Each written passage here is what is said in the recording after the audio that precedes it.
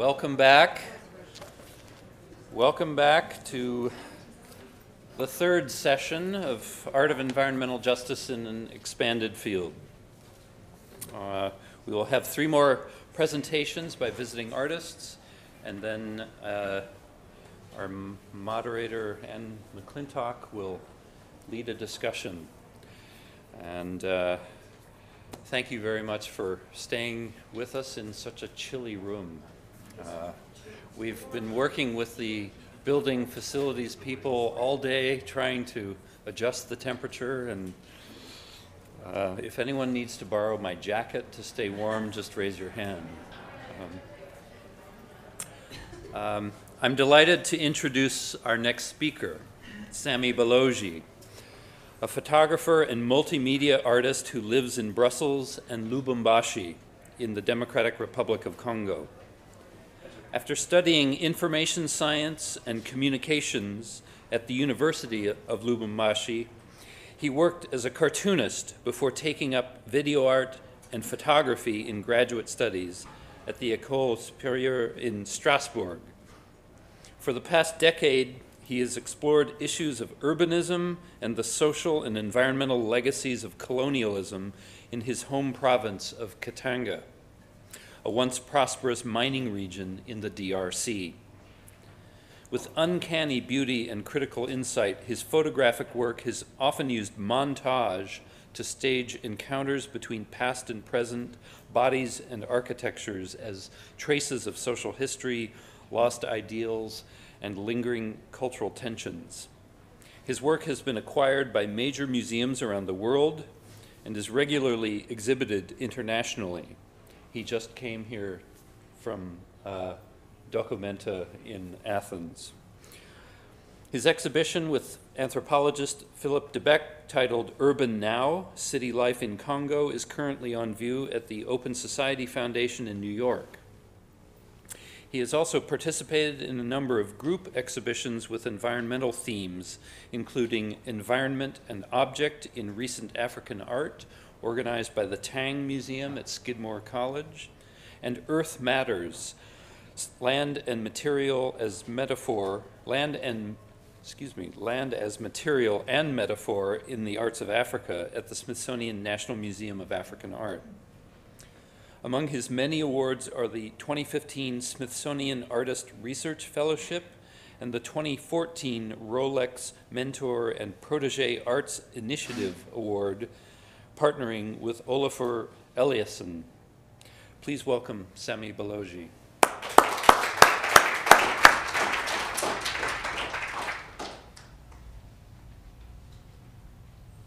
Um, good evening, everyone. Um, thank you, Alan, for the invitation, and thank you to uh, all the uh, Princeton University for this um, uh, for this occasion to talk about my work.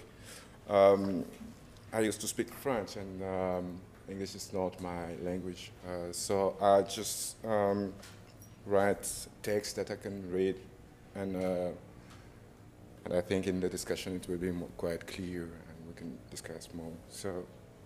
Uh, I was born in 1978 uh, in Lubumbashi, the principal city of the Katanga region of the Democratic Republic of the Congo. This was uh, during the dictatorial reign of President Mobutu. I was 12 when the Berlin Wall fell, the Cold War ended, and as Congo opened up politically, chaos soon ensued. My adolescence was uh, shaken by the genocide in Rwanda and the wars in West in Eastern, in Eastern Congo, which have lingered to the present day.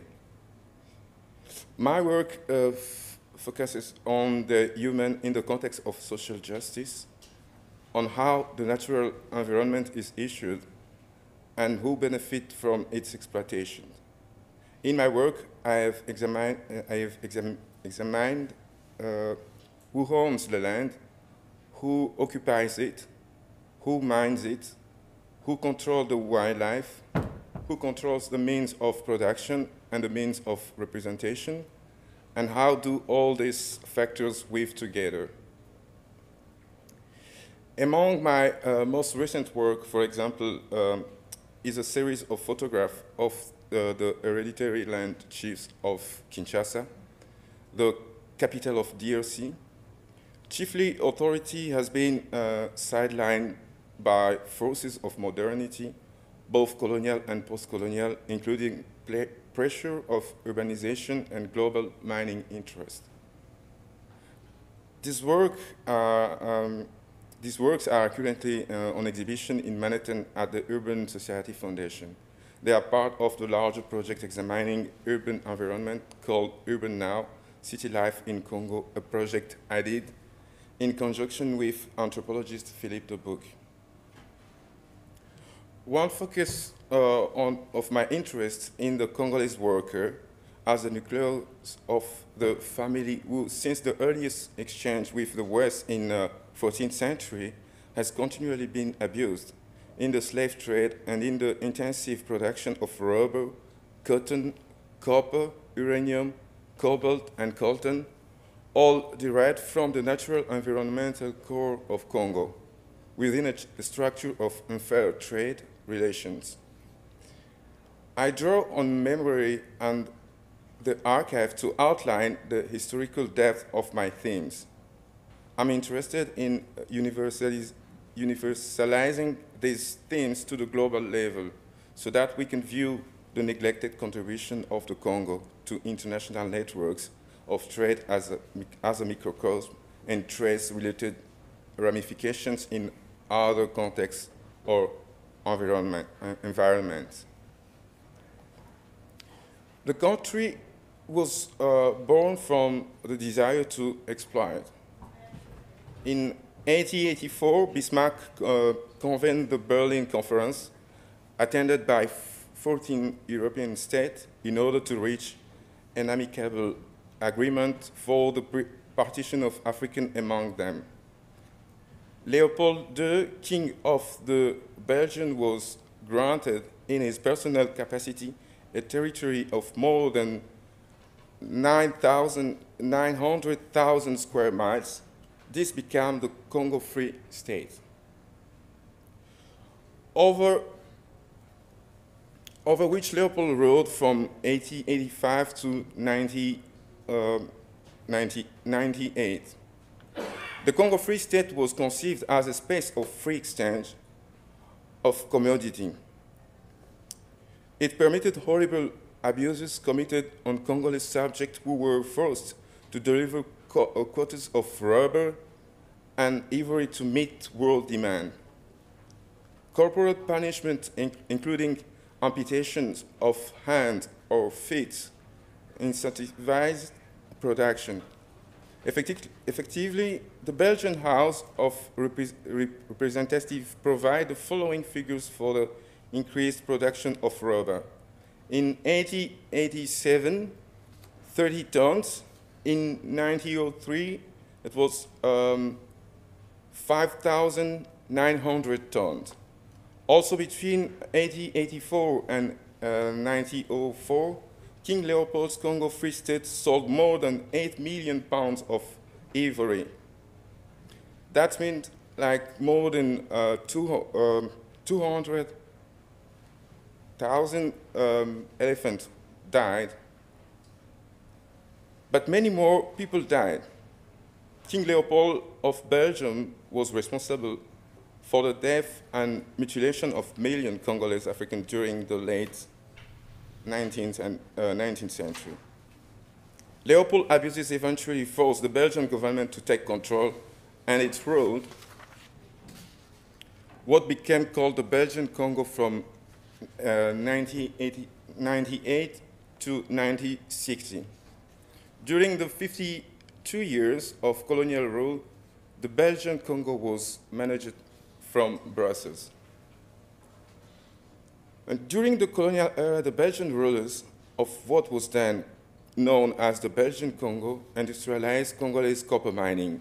Of course, Congolese labor and copper were exploited in this process, but it is also uh, produced many benefits. The mining company provided good pay, education, and health services. It was as people in Katanga still recall the beautiful time. And this was the title of my first solo museum, uh, my first solo museum show in New York at the Museum for African Art, and the accompanying book. My series memoir thematize, thematizes the historical background of this memory of a more beautiful time recalled today in a time of post-colonial ruin, collapse, and corruption.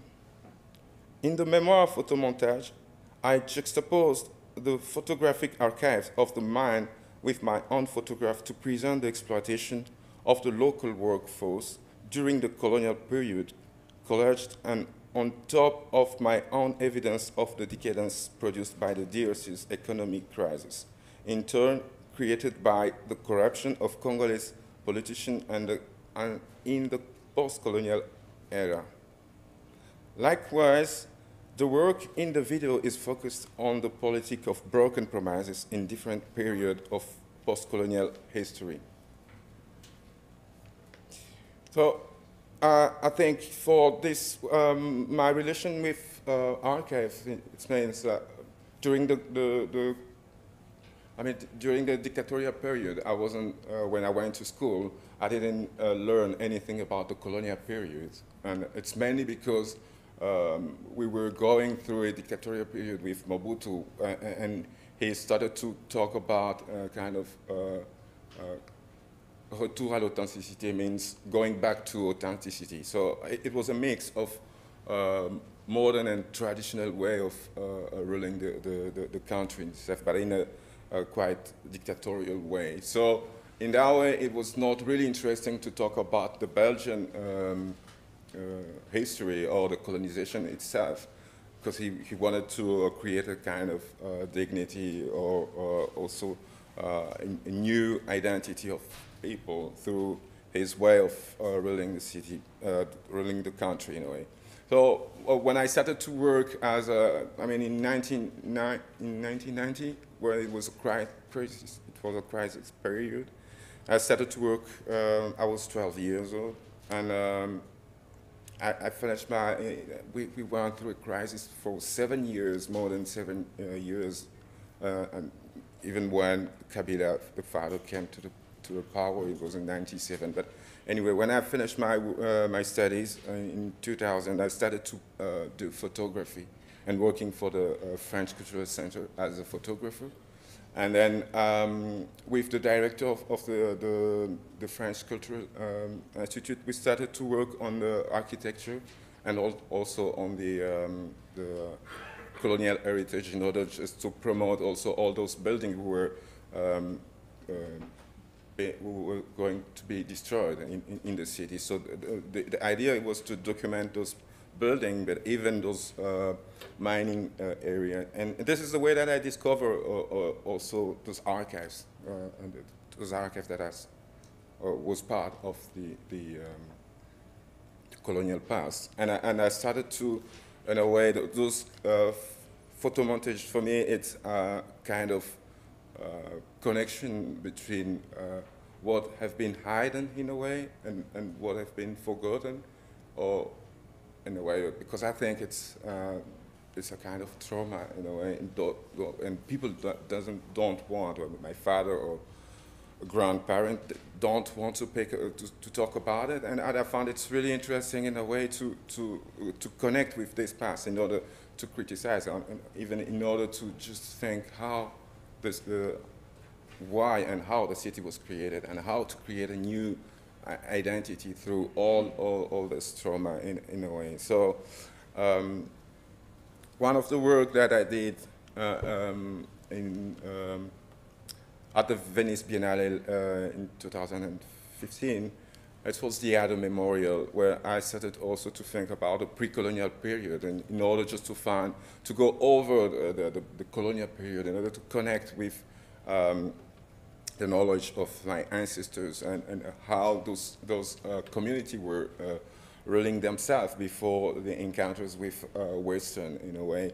So I started to uh, work, I mean, to, to um, one of the traces that I found was really interesting is the, those uh, marks of scarifications that were done on, on bodies in, in order to ide identify uh, communities. But uh, it's also it's a political way of uh, assuming uh, a community and belonging to a community to a kind of aesthetic and a space in an environment. So.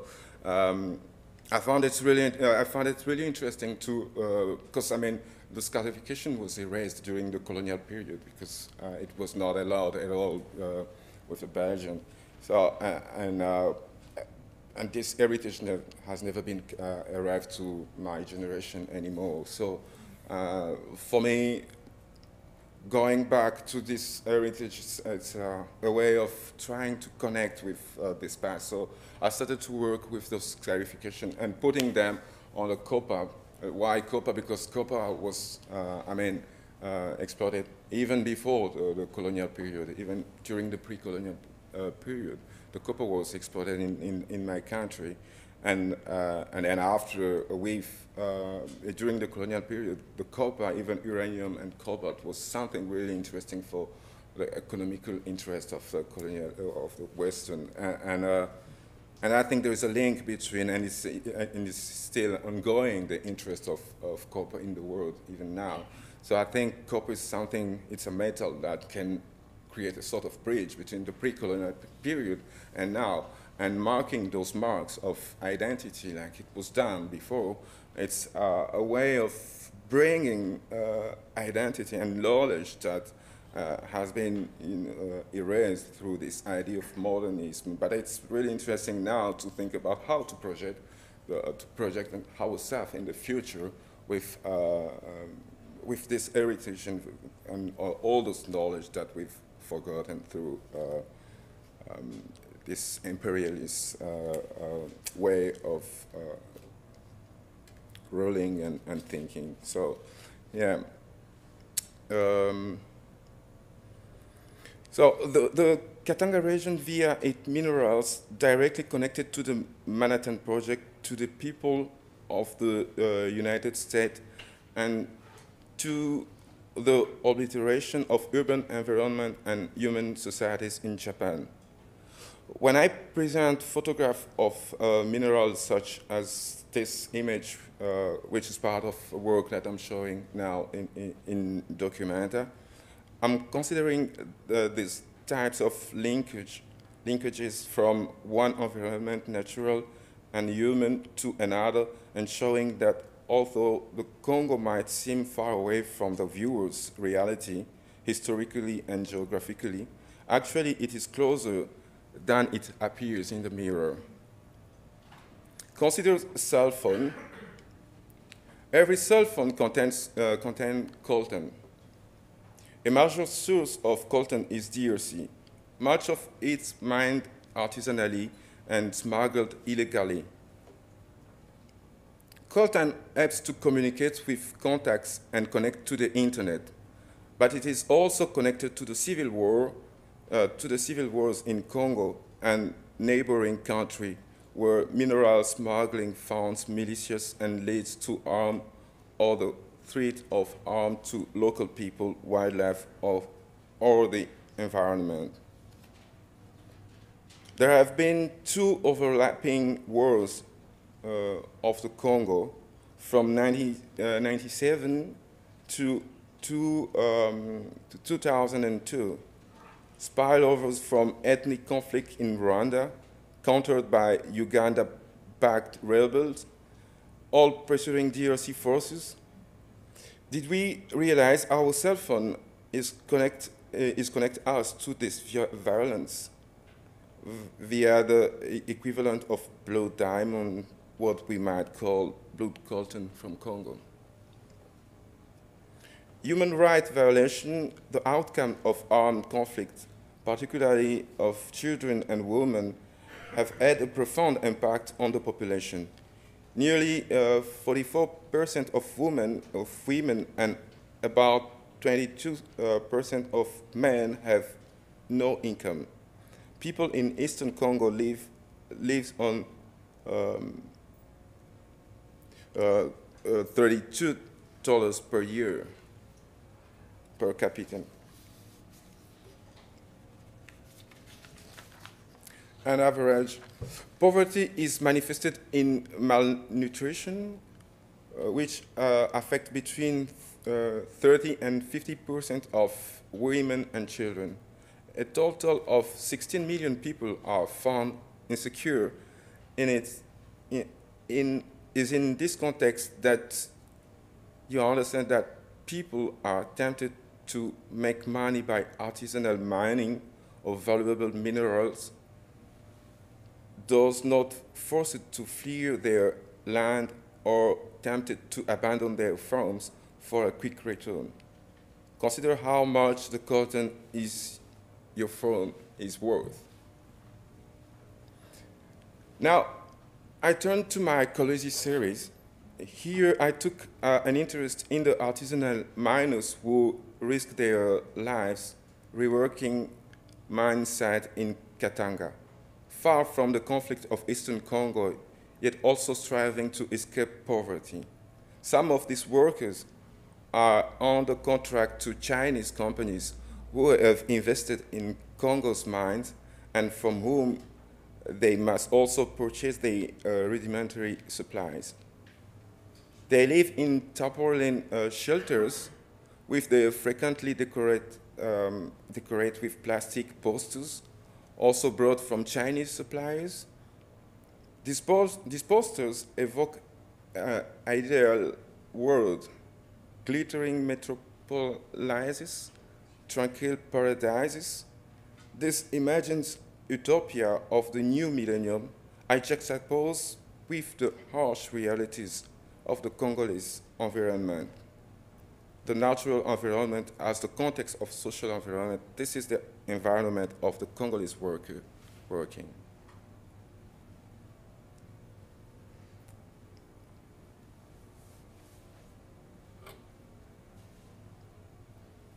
I'm going to show you, um, finish this uh, presentation by present you, presenting you one of the uh, first video I did in 2006 uh, on, on the mining.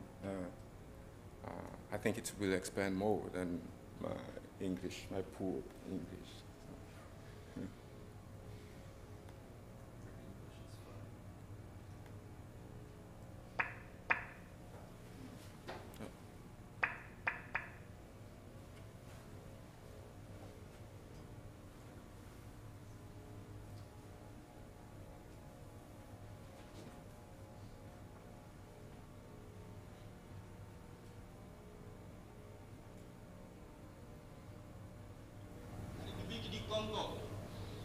A été proclamé. Et notre cher pays maintenant entre les mains de ses propres enfants.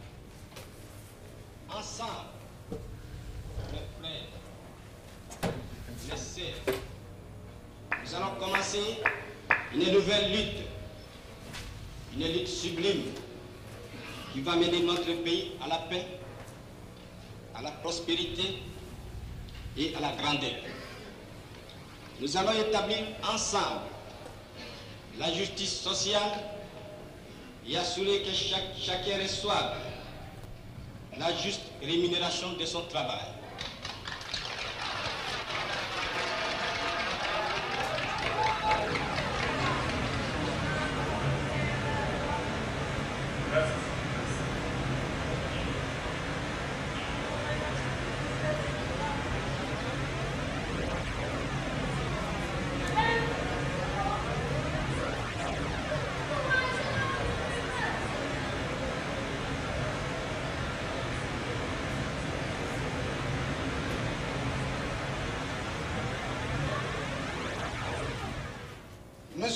Pour cela dans ce vaste chantier de 14 millions d'âmes qui est notre pays, éclairer et guider tous ceux qui œuvrent dans l'enthousiasme. C'est cette communauté d'efforts, de plein et de travail qui achèvera le plus sûrement d'unir tous les Congolais en une grande, seule et solide nation. Nous montrerons ainsi au monde par nos actes que nous sommes dignes de la confiance que le peuple a placée en nous et que de nombreux pays nous témoignent déjà.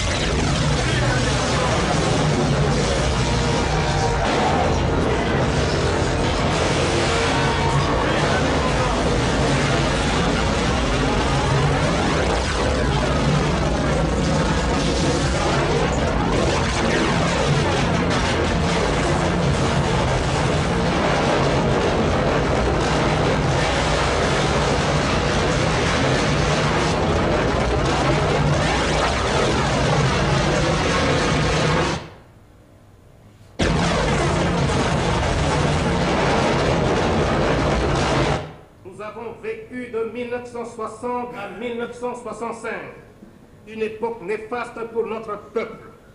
Et nous sommes obligés de reconnaître que l'anarchie, le chaos, le désordre, l'inconscience et l'incapacité régnaient en maître aux Haïts. Notre pays n'a pas seulement souffert à cause de l'impréparation politique, mais également et surtout suite à la convoitise de l'Ouest et de l'Est, les uns et les autres voulant avoir une influence déterminante sur nous afin d'être maîtres de nos importantes ressources naturelles. Les uns voulaient nous recoloniser économiquement, tandis que les autres voulaient nous dominer idéologiquement. Le Zaïre, qui est passé d'un chaos indescriptible à un pays organisé et gouverné, a fini par reconnaître, à partir de sa malheureuse expérience, ses véritables amis.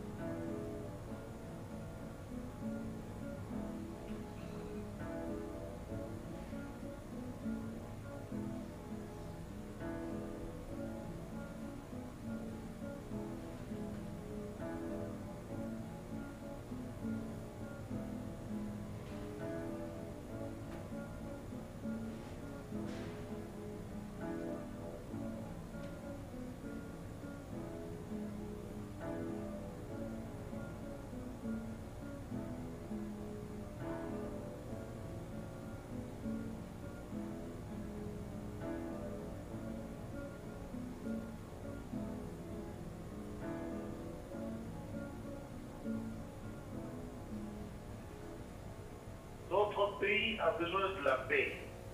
Il faut que ce monsieur vienne et on négocie, que l'on puisse trouver une solution paisible au problème de la crise du pouvoir. S'il négocie, on tout s'arrange à l'amitié, à l'amicable. Mais s'il ne négocie pas, nous serons obligés d'avancer.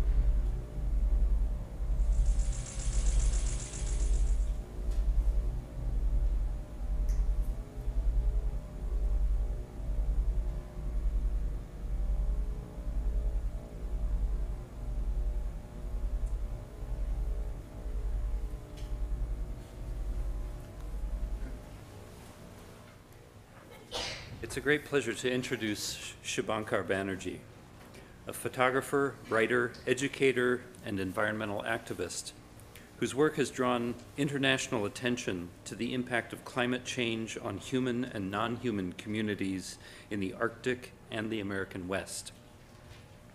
He is the Lannan Foundation Endowed Chair and Professor of Art and Ecology at the University of New Mexico. Born in Berhampur, India, near Kolkata, he grew up in a rural, tropical setting in Bengal, where he formed an early appreciation of land and ecology. After studying engineering in Kolkata, he moved to the US and earned master's degrees in physics and computer science at New Mexico State University.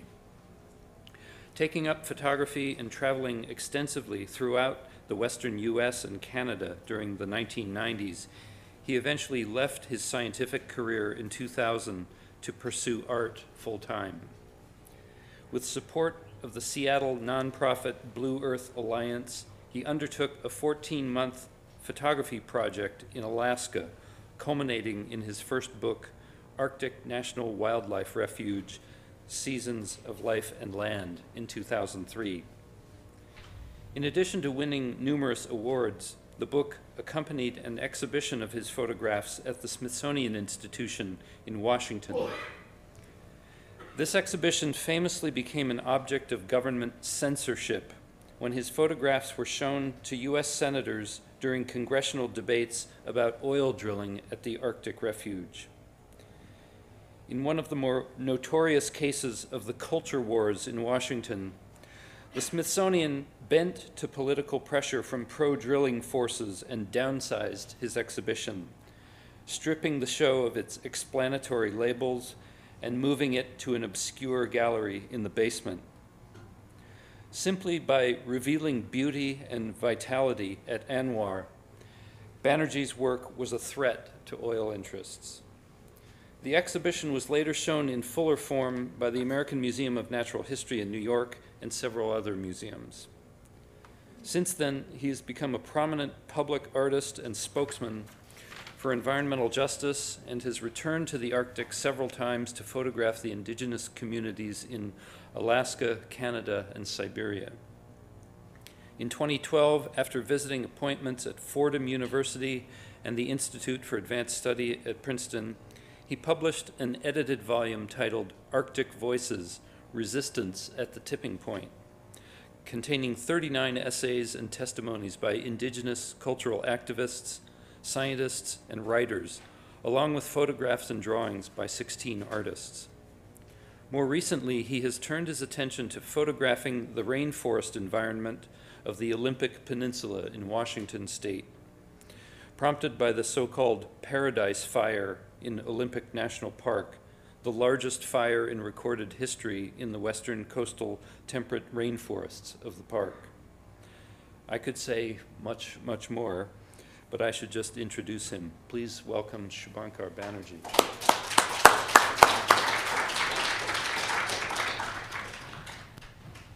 May I get a little help with the? Uh, oh, okay. Thank you so much. Uh, I want to thank my dear friend Alan, uh, not just for that lovely introduction, kind introduction, and bring me, bringing me here, for which I am deeply humbled and grateful, but for bringing all of us together. Like this has been a incredible day, as most of you know who have been here all day long.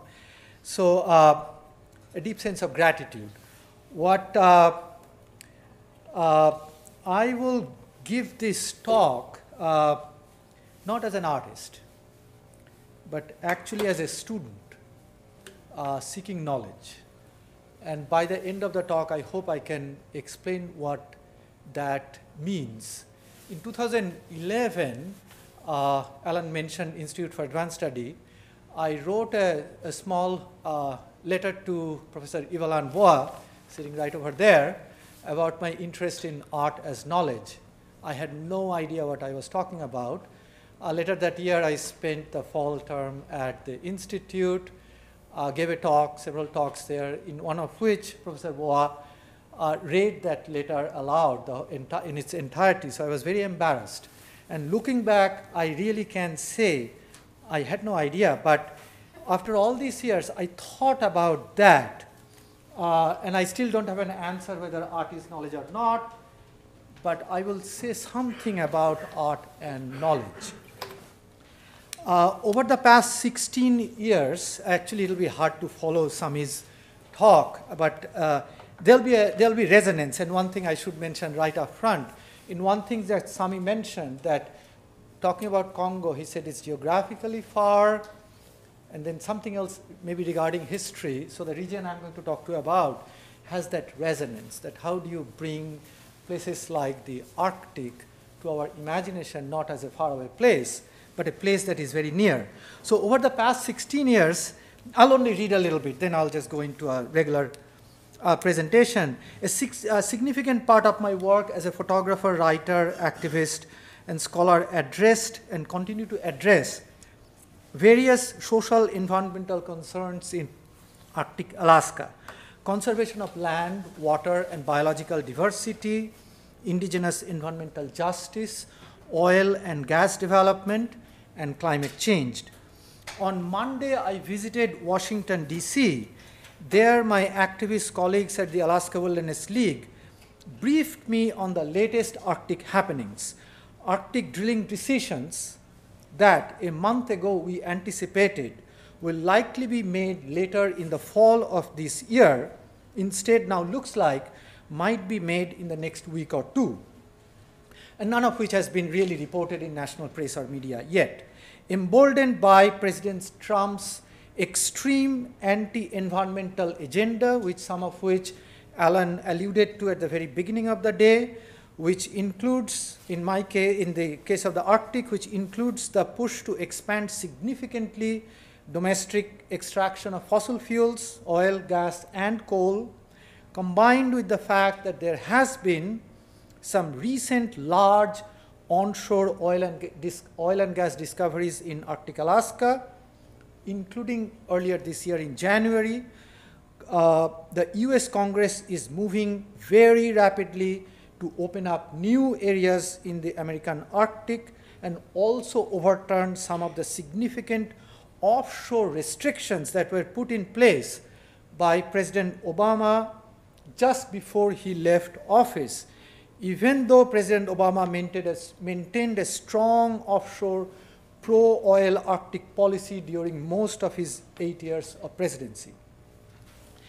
This is the latest uh, map, as you can see from the bottom. It was actually produced just last month of oil and gas leases on Alaska's Arctic. This is a map that is what we would call a map that is kind of highlighting a process of current colonization of the Arctic, an expansion of that process. Uh, I'm not going to go into that, but it's essentially showing all the different set sold federal and state lease sales, active state lease sales, active federal lease sales all over the place. But the land I'll focus on a little bit is to that right, the Arctic National Wildlife Refuge. But before that, so these are some of the new infrastructures that are coming up. And several of them actually were discovered during the Obama years but one of which, Willow, which is the latest discovery, which just happened in January. So these are very, very new, some of which I wasn't even aware of, but learned uh, on Monday. So now I'll actually, that is just a brief uh, political background of the geography that I'll share a little bit with you about. But this talk, however, will focus on art's uh, role in amplifying environmental justice. But, uh, and I've been thinking about this particular line of inquiry since the beginning of this year. Uh, it is a work in progress, uh, but like I said, I'm giving this talk as a student. I joined, as Alan mentioned, after 16 years of being independent. Finally, I joined uh, the University of Alaska last August, purely, really, for survival reasons, because I had left the commercial art world. I had left everything that had to do anything about bringing income. So after struggling for 16 years, I joined academia, finding a refuge there. So uh, I'm teaching a class finally this semester, one class which is integrative ecology and social transformation. I'm not going to go into that, but it has been cross-listed with 11 different departments and have 40 students from 15 different departments, graduate students and senior undergrad.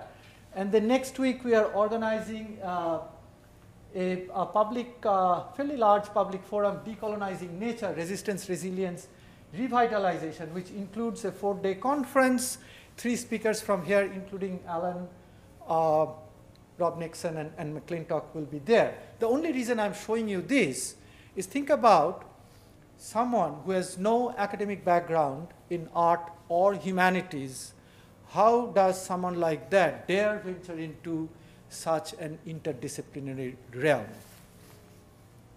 And the answer lies in photography, or more specifically, uh, my life in photography of the last 16 years. And part of the reason I'm thinking about this, this is very, very uh, sort of a new thing I'm thinking about, is because I am living in a borderland state. And earlier we heard about borderlands between Mexico and New Mexico. I too, I, I too live in a borderland state. So I've been thinking about crossing borders, building bridges, not walls. And how can photography possibly get us there? So peripatetic photography, that's what I'm calling it. I mean, borrowing the term from, I guess, Socrates. But for me, a photograph is not merely an object on a wall that may induce pleasure or spark intrigue and other human emotions, but more importantly, it is a portal to activism and knowledge, collaborative social environmental activism, and interdisciplinary production of knowledge.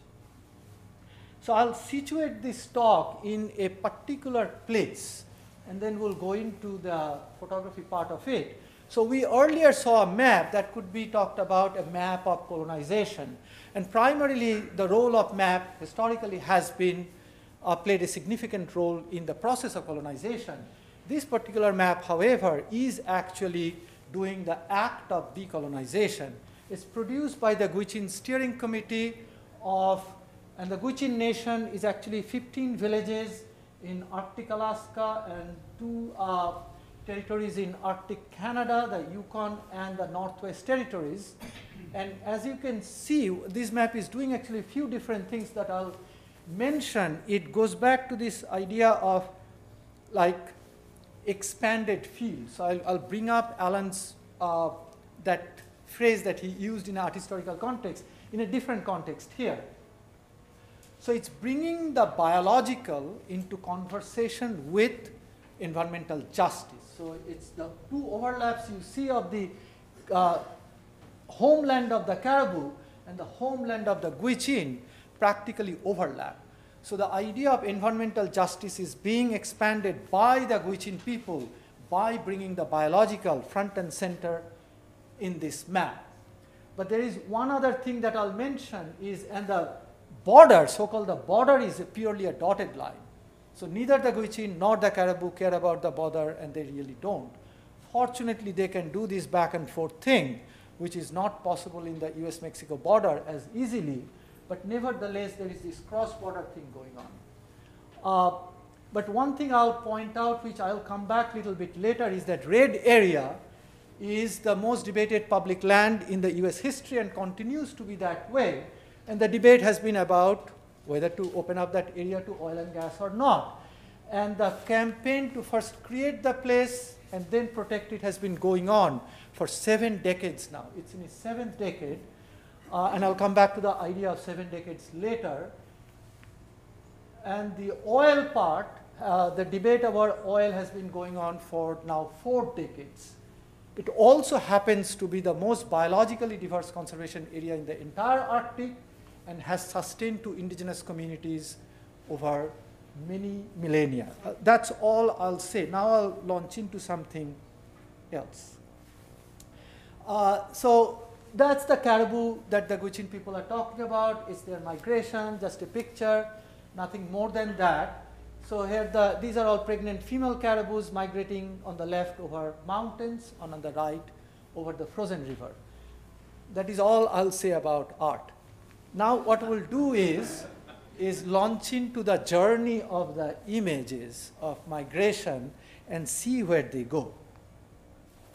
Uh, but the idea that photographs move around is not nothing new. In fact, right here at this institution, at the Princeton University Art Museum, there was a major exhibition and a scholarly catalog published a few years ago called the itinerant languages of photography.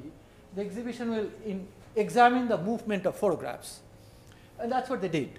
But nevertheless, inquiries like this and some others, the focus is on the object. That the object moves around, the object takes on new meanings, the object, object does something to the target space, and so on and so forth.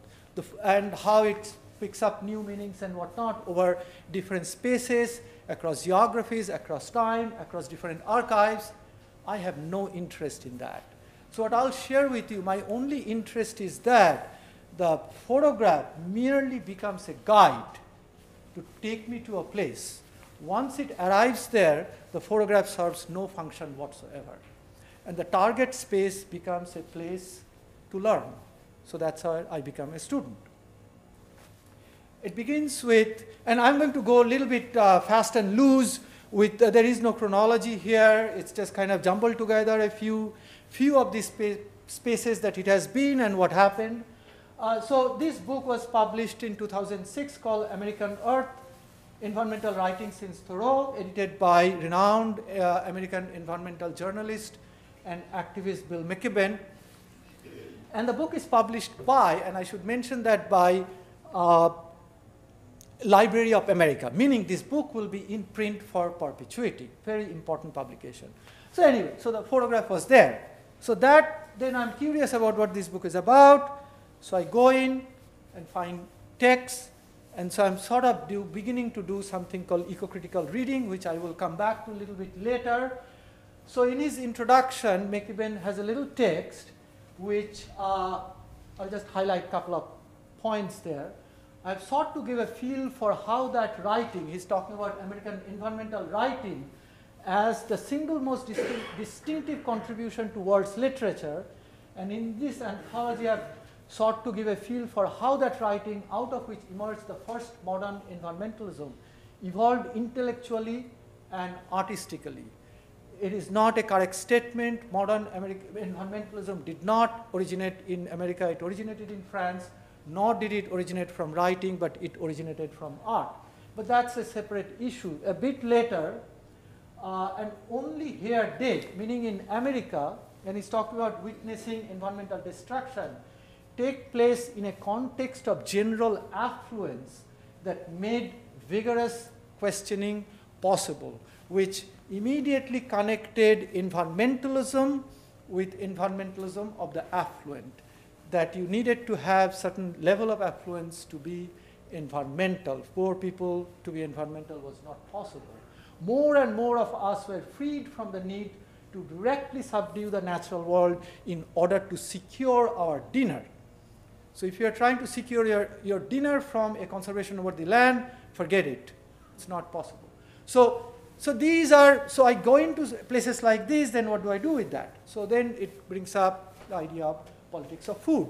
So then a simple, very simple juxtaposition, but there are three.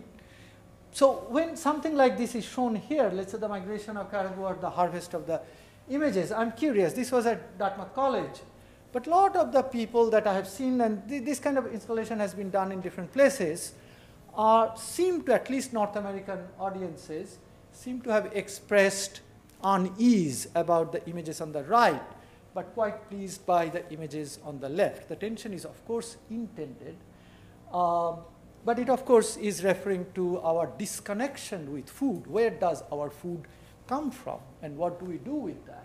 So blood in meat is something we don't see anymore. Everything is wrapped in plastic. Uh, so from the politics of food, uh, I just want to go into that same sort of the biological and the uh, indigenous human rights. So in 2005, when it seemed like we are not going to win this debate at all, in Congress, it's a, it's a basically we thought we would lose. So in a very desperate attempt, I worked with a uh, activist friend to design an ad. Uh, we had no money, but somehow we had designed the ad, and then the conservation community came in. The ad was published full, full page in the New York Times, Washington Post, and USA Today. Next month, to our great surprise, we won that again. In fact, we defeated each and every proposal by the Bush administration over an eight-year period. I was basically nothing but an activist. But here, again, the bifurcation of the caribou, we used it, but on the right, primarily we talk about energy politics and, uh, and uh, biology, and on the left, primarily we talk about indigenous human rights. Very unusual for environmental uh, propaganda, if you call it. There is a history of that. In 1966, uh, David Brower and his colleagues at the Sierra Club launched what is now called the famous Grand Canyon battle ads, also in the New York Times. But there's a very difference between what was done there and what is done there. So environmental justice was a key part of the campaign that we launched on New York Times, which was not Brower's uh, priority. But uh, continuing on to the food thing, so this was a, a third text journal, Contemporary Art and Politics of Ecology. The image appears there, but I'm just taking you where the image takes me. But anyway, I wrote something, also an essay in there about politics of food or access to food. But something very unique happened in this campaign that I realized is that the Gwich'in people who are fighting to protect that red, deep red area from oil and gas development because that is where the caribou goes to give birth. That's the calving ground. So they call it Iizhik Gwats'an Gwandaii Goodlit, the sacred place where life begins. Uh, but that is not the Gwich'in traditional homeland. It is the homeland of the Inupiat people. The Gwich'in do not travel there. They do not even walk there. Uh, they, uh, they, they do not inhabit the land and yet they are making a claim for its protection. In US, it's unheard of almost. Because either you inhabit a place or you show some kind of a use. For them, there is no direct use. So it's a very indirect use through the uh, tenuous uh, connection to the caribou, because the caribou gives birth and this and that. So what I call that, it's a right to food claim. That's what they're making. And they have been extremely effective in making this sort of a claim over a territory that they don't inhabit or even use directly. But it's not about just food. It's uh, so Sarah James, uh, well-known uh, Gwich'in activist, caribou are not just what we eat. They are who we are. They are in our stories and songs and the whole way we see the world. Caribou are our life. Without caribou, we wouldn't exist. So suddenly we are entering the realm of uh, indigenous cosmology. And earlier today, uh, I think Ravi's talk, he mentioned that working with the fishing communities, he never heard the word nature something else is taking place here. The Gwich'in are not only using the word nature, they're using a much more fraught term called the wilderness, which has dispossessed, both nature and wilderness have dispossessed indigenous communities for a 150 year period. But the Gwich'in are now using those words specifically to advance a particular cause. So for example, Sarah James explicitly stated I learned by living out in the wilderness, our natural world. I wrote a long text of interpretation on that. So there are different communities are actually, even though there is a movement to get away from the word nature, a lot of indigenous communities, both in the global north and the global south, are using the word nature or even more fraught terms like wilderness to advance their environmental justice claims.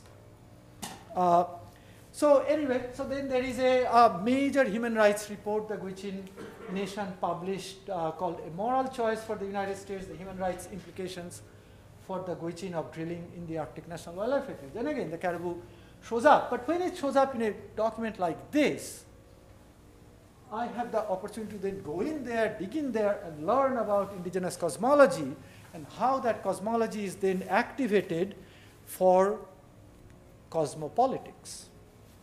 And so this is an opportunity to become a student. So the, again, the photographs are merely guides, or it appears on other media, like their human rights website, Gwich'in steering committee. And just a, on a lighter note, Jonathan Solomon, he was a mentor to me, one of the greatest activists I've ever come across, along with Sarah James, during a major uh, gathering of all the Gwich'in nation on the Yukon River to discuss a major oil issue. After three or four speakers, he said, Now let the real Indian speak, and handed me the talking stick. And everybody burst out laughing, looking at this skinny guy talking to the Indian nation. But then it comes into a academic space, a truly a groundbreaking book called the Alaska Native Reader History, Culture, Politics. Again, the image shows up there, and I was, most of the contributors are indigenous people from Alaska, scholars, artists, activists, writers, poets. Uh, and I was one of the few invited ones to write a piece. But what this book did for me was truly opened up my eyes like it never did before. It, uh, it gave the sense that indigenous people are fighting right now for various fights all over the country. And earlier today, Alan talked about uh, the history of environmental justice starting right about 1970s, but then he went and broadened it up to the global. And uh, environmental justice movement in North America started way, way before that. Even the first grassroots environmental justice movement, according to uh, some historians, started right in Arctic Alaska by a, handful of Inupiat people from one community called Point Hope, three scientists from University of Alaska, two of them were fired by the university for that, for their involvement, and it just a two or three environmental activists stopped one of the largest nuclear project that would have wiped these Inupiat people off the face of the earth called Project Chariot that was late 1950s, successfully through very simple means like uh, uh, community radio and a community newspaper. These communities stopped Project Chariot. And that was, again, a, a tremendous case of unlikely alliance that I call the scientists, the activists, and, uh, and a handful of uh, environmentalists. So, but this book goes farther back even that. And what it shows that the native solidarity started in Alaska going back to the 1920s. And social rights were established in Alaska through native solidarity before even it got established in the lower 48. Alaska was not even a state yet. And voting rights were established in Alaska before even here for the marginalized communities. In all of those campaigns, there was a Native Brotherhood Fund, uh, Brotherhood uh, something, and then there's a Native Sisterhood.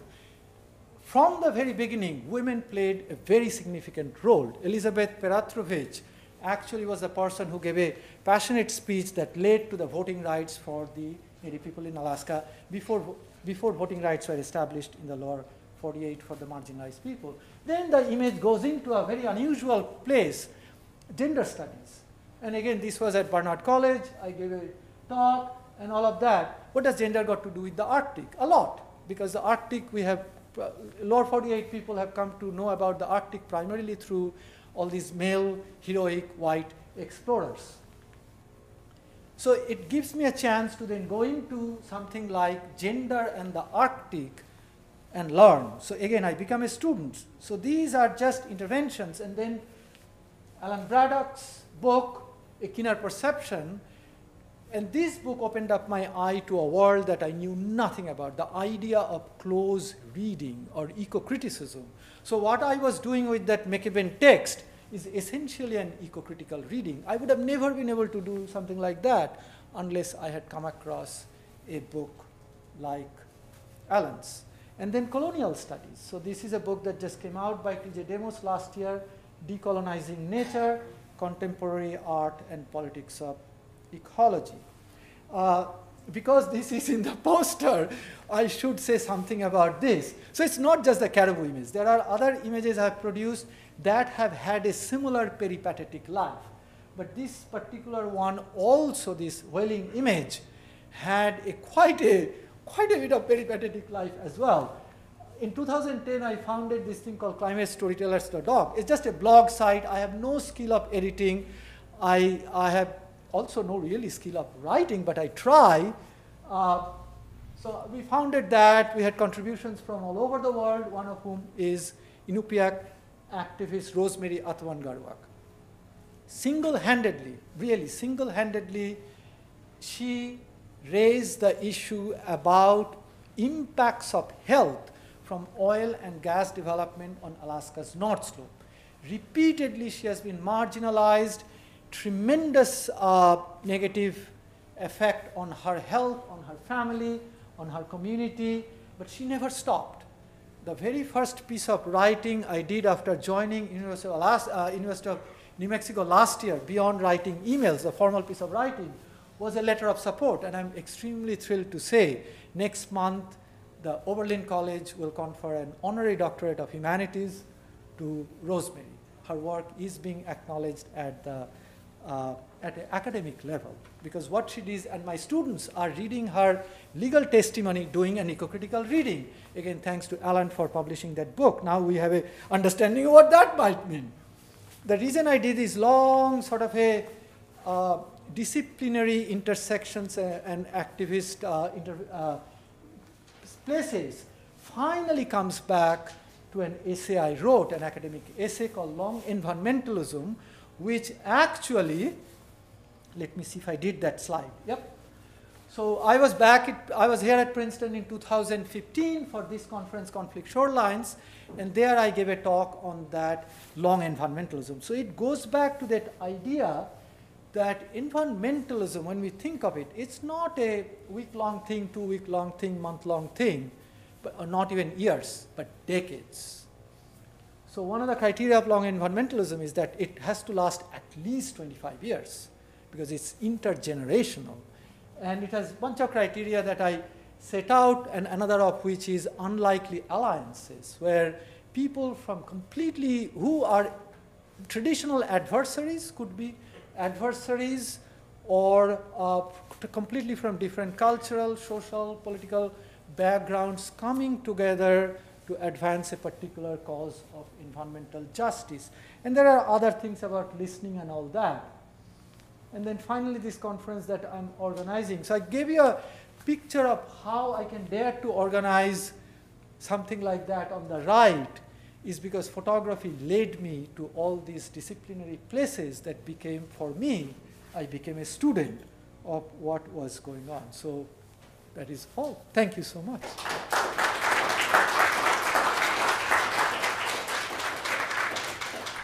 And sorry, I didn't show my, I didn't show much of my art, but for another time. Thank you, Subhankar.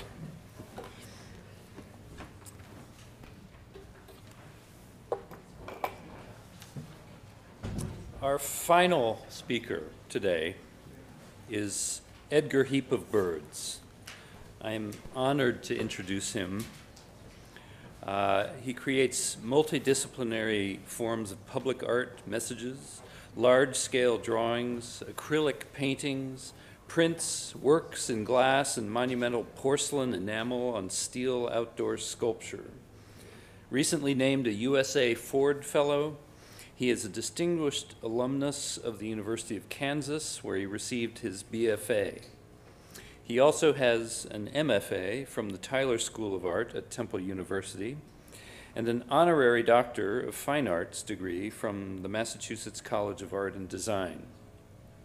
His work has been exhibited by many major museums and galleries, including the Museum of Modern Art, the Whitney Museum of American Art, and the Metropolitan Museum of Art, and that's just in New York. Uh, he's been exhibited at so many museums, I won't list them all. A few of the prominent museums that have acquired his work include the Whitney, the Metropolitan, the British Museum, the Walker Art Center, the Denver Art Museum, and the Smithsonian Institution. Since 1988, he has been a professor of art and Native American studies at the University of Oklahoma. He has also taught at Yale, the Rhode Island School of Design, and the University of Cape Town, and has lectured on every continent except Antarctica. Uh, but there's still time. Just last month, he conducted sabbatical research with the Batak tribe in northern Sumatra and presented a solo exhibition in Singapore. He has received prestigious awards from the NEA, the Rockefeller Foundation, the Andy Warhol Foundation, the Pew Charitable Trusts, and several other organizations. In 2005, he was commissioned by the Denver Art Museum to complete a large outdoor steel and porcelain sculpture titled Wheel, inspired by the traditional medicine wheel of the Bighorn Mountains of Wyoming. In 2007, he represented the Smithsonian Institution at the Venice Biennale with a public art project and blown glass works titled Most Serene Republics memorializing 16 Native Americans who died during European tours of William Buffalo Bill Cody's Wild West show. Throughout his career, he has produced work critically addressing indigenous history, land, and environmental relations. Please welcome Edgar Heap of Birds.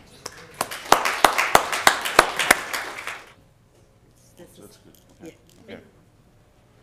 Well, thank you for your attention and, and hanging in there. Uh, uh, today, I'll be speaking uh, with this project, uh, my lecture, Defend Sacred Mountains. and uh, as always, I, I certainly want to uh, dedicate the talk today to indigenous women. And they've carried us so far, so, so very far. And I, I always want to pay homage to uh, women like Grace Big Bear here, the Cheyenne Nation. And I'll be talking about four sacred mountains, principally, and it's actually going to be an exhibition touring project next year from Pitzer College and Touring America, looking for venues. Um, but I want to first, I guess, talk about um, uh, who will be defending the mountains and why do we defend the mountains. So I want to read a statement from a young Cheyenne woman, my nation, and it goes with this piece I did uh, in New York many years ago, I think 82, uh, with group material um, in Brooklyn. It was called Preparing for War, this, this uh, word piece, about 20 feet across, about Colonel Custer. Many Cheyenne were killed during the fight. The air was full of smoke from gunfire, and it was almost impossible to flee because the bullets were flying everywhere. However, somehow we ran and kept running to find a hiding place. As we ran, we could see the red fire of shots. We could hear, um, we got near a hill, and there we saw a deep, steep path where an old road used to be. There was red grass along the path, and although the ponies had eaten some of it, it was still high enough for, for us to hide. In this grass we lay flat, our hearts beating fast, and we were afraid to move. It was now broad daylight, and it frightened us to listen to the noise and cries of the wounded. When the noise seemed to quiet down, we believed the battle was about to end, and we raised our heads high enough to see what was going on. We saw a dark figure lying near a hill, and later we learned it was the body of a Cheyenne woman and child. The woman's body had been cut open by the soldiers. Uh, that was a quote from Moving Behind, a 14 year old survivor of the Washita Massacre, um, just about two hours west of where I live in western Oklahoma. Uh, that was on the November 27th, 1868. Uh, Colonel Custer came with his army from Kansas uh, to massacre the Cheyenne Nation. Uh, a lot of this work that I'm doing as well uh, is insistence and I think that's what we have to have in many realms of our endeavor is to insist to uh, uh, intervene. This is a uh, image at Fort Marion in St. Augustine, Florida, where the warriors were taken and imprisoned, uh, the Cheyenne Nation warriors, uh, my family as well. But I want to talk about them a bit and uh, show you I went through there to the fort and actually insisted that I can offer prayers inside of the fort. And the fort was where they kept the survivors of the Washita Massacre, uh, the, the men, uh, the warriors, and the chiefs. Here's a photograph of the, of the warriors and chiefs when they were gathered together after they surrendered from the massacre. And instead of having peace, they were incarcerated. And I made another drawing as a young artist, actually here in, near, in Philadelphia, near here, uh, after grad school, and just showing uh, the issues of uh, the uh, language and how the language was really what imprisoned the native people. So the English came forward to be their language imposed upon them. But here the warriors are after they were uh, imprisoned, and then they had died, some of them from the incarceration in terms of humidity and diet and changing of their environment. But they were held hostage, actually, uh, so that they could build three forts on the reservation, and then they would uh, uh, dominate the tribe back in Oklahoma and make Oklahoma into a state. So Oklahoma was not to be a state. It was actually a, a native sanctuary for 38 nations, but that was, uh, was reneged upon. Now, that in, imprisonment and that domination, uh, there were no laws, there were no charges, there were no judges, there was, there was no kind of due process, and that is an American tradition. So here we have Guantanamo and um, enemy combatants, so called. Um, and here's a quote to determine POWs belligerents hold captured combatants and non combatants of hostile powers in custody for a range of legitimate and illegitimate reasons. Prisoners of war are held to isolate them from enemy combatants still in the field, to release and repatriate them in an orderly manner after hostilities, to demonstrate military victory, to punish them, to prosecute them for war crimes, to exploit them for their labor, to recruit or even constrict them for their own combatants, to collect military and political intelligence from them, and to indoctrinate them in new political or religious beliefs.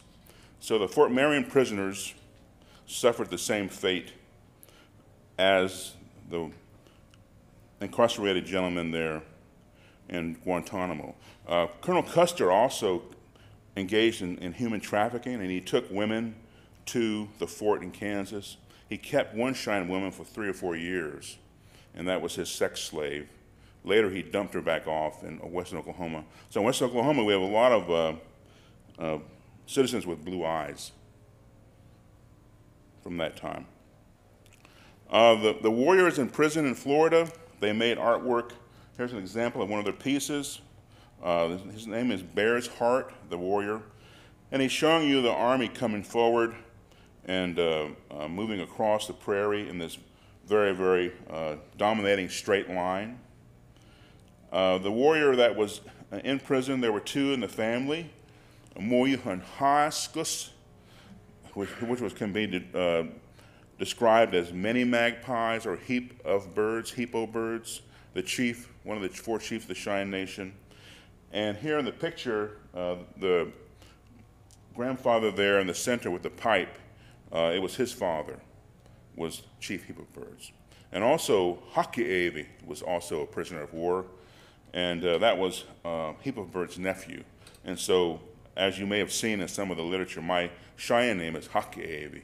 So we have this great tradition of uh, leadership um, in, in that, the whole scheme of history. On the far left is my grandfather, Guy Heap of Birds. His son was Charles, many magpies, Heap of Birds, and, and I'm, I'm the, the grandson. So as I make prints, I made a series of prints called Defending Sacred Mountains, and this is an example of the printmaking process as it starts out. But uh, I wanted to show this as a homage to Moyuhan Haskus, uh, Heap of Birds, the chief that was in prison in Florida. And it's a very simple phrase in Cheyenne language, uh, Numshum, Numshum, grandfather. These are monoprints, all done uh, with uh, rag paper. They're 15 by 22 inches. And this is a whole series. There's about maybe, I don't know, sets of 16, maybe four sets of 16. And they're called Dead Indian Stories. And so that's an example of uh, my editorial about what happened with the tribe and what continues to happen um, in terms of social justice. Uh, this is an interesting uh, piece I like to show as well. Uh, goes back in some ways to Guantanamo, and where some of you may know that when they killed bin Laden, uh, his code name was Geronimo. So they called back to a situation room with Hillary Clinton and President Obama and, and said, uh, we want to inform you that Geronimo's dead, and everybody cheered. So they gave the most hated terrorist in the world an Apache name. Uh, Sand Creek, Washita River, Sandy Hook. Uh, here, of course, we're looking at uh, death and massacre of young children. Um, uh, Sandy Hook, of course, here near, near where we are in this room in Connecticut. But that we don't really lament the, the lives lost and the Cheyenne massacres. The one in the grade school near here was very well uh, mourned. And this piece um, done about the Washita massacre, also the Sand Creek, they happen to be uh, rivers or creeks where the tribe camped, and so the army was too weak to find them on the run, on the move. They waited until they camped to attack them. And again, the forts I mentioned, there are three forts still on the reservation. Uh, one became a federal penitentiary, and these three forts were built uh, to dominate the native people, and uh, we were never safe.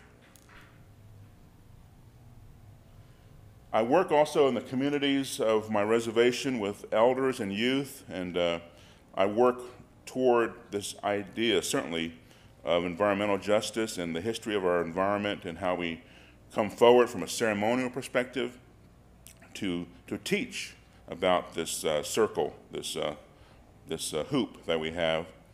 And I'll show you a detail. So this is uh, the medicine wheel, and it's the primary teaching tool, I think, for, for all life, really, from uh, this hemisphere, so that you'd have to have an awareness of the extremes of the sun to really be a, be a citizen of this hemisphere. You know, it's, it's in your interest to know that, and so that you would have to know uh, on the like the black on the on the right top, uh, north northeast, and that's the the rising point of the longest day of the year, the solstice day. It would go around and then end in the, in the blue, uh, the northwest. So that would indicate the longest day of the year. And so really it's more of an, of an X. It's not really this, this kind of shape. That's, that means nothing. Uh, it's, it's the X because that shows you the extremes of the, of the sun.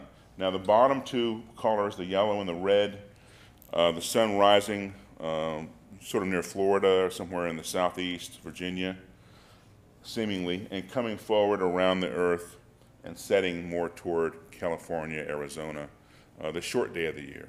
So within that, that parameter of uh, what we just saw with migration, certainly, um, the animals move with that sunshine so that the, the days that would come and go, the grasses would grow and die.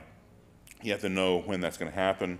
Your animals will, will follow the grasses, and then you'll follow the animals, you know, so that all this goes together. So knowing um, the extremes of the sun is the medicine wheel, and that's what I taught the students as well as some elders, and that's our premise of all life is about that, that observation.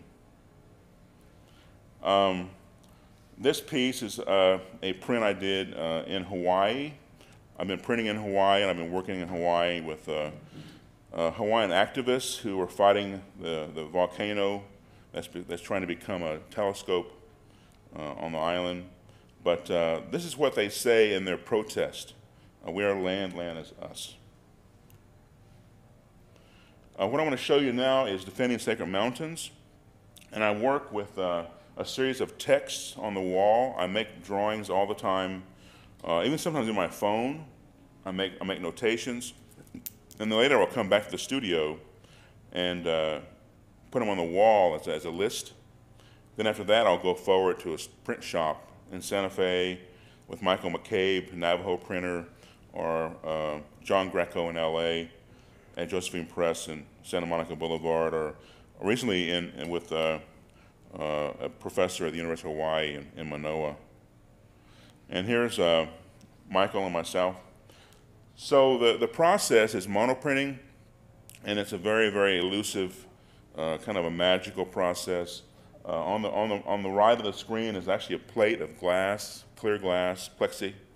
And so I'm going to write on that glass with clear liquid and the clear liquid resists the ink, and so that the clear liquid, what I write with, becomes where the paper is revealed. and the very difficult part about that is in order for it to be a, a properly viewed text, it must be written backwards.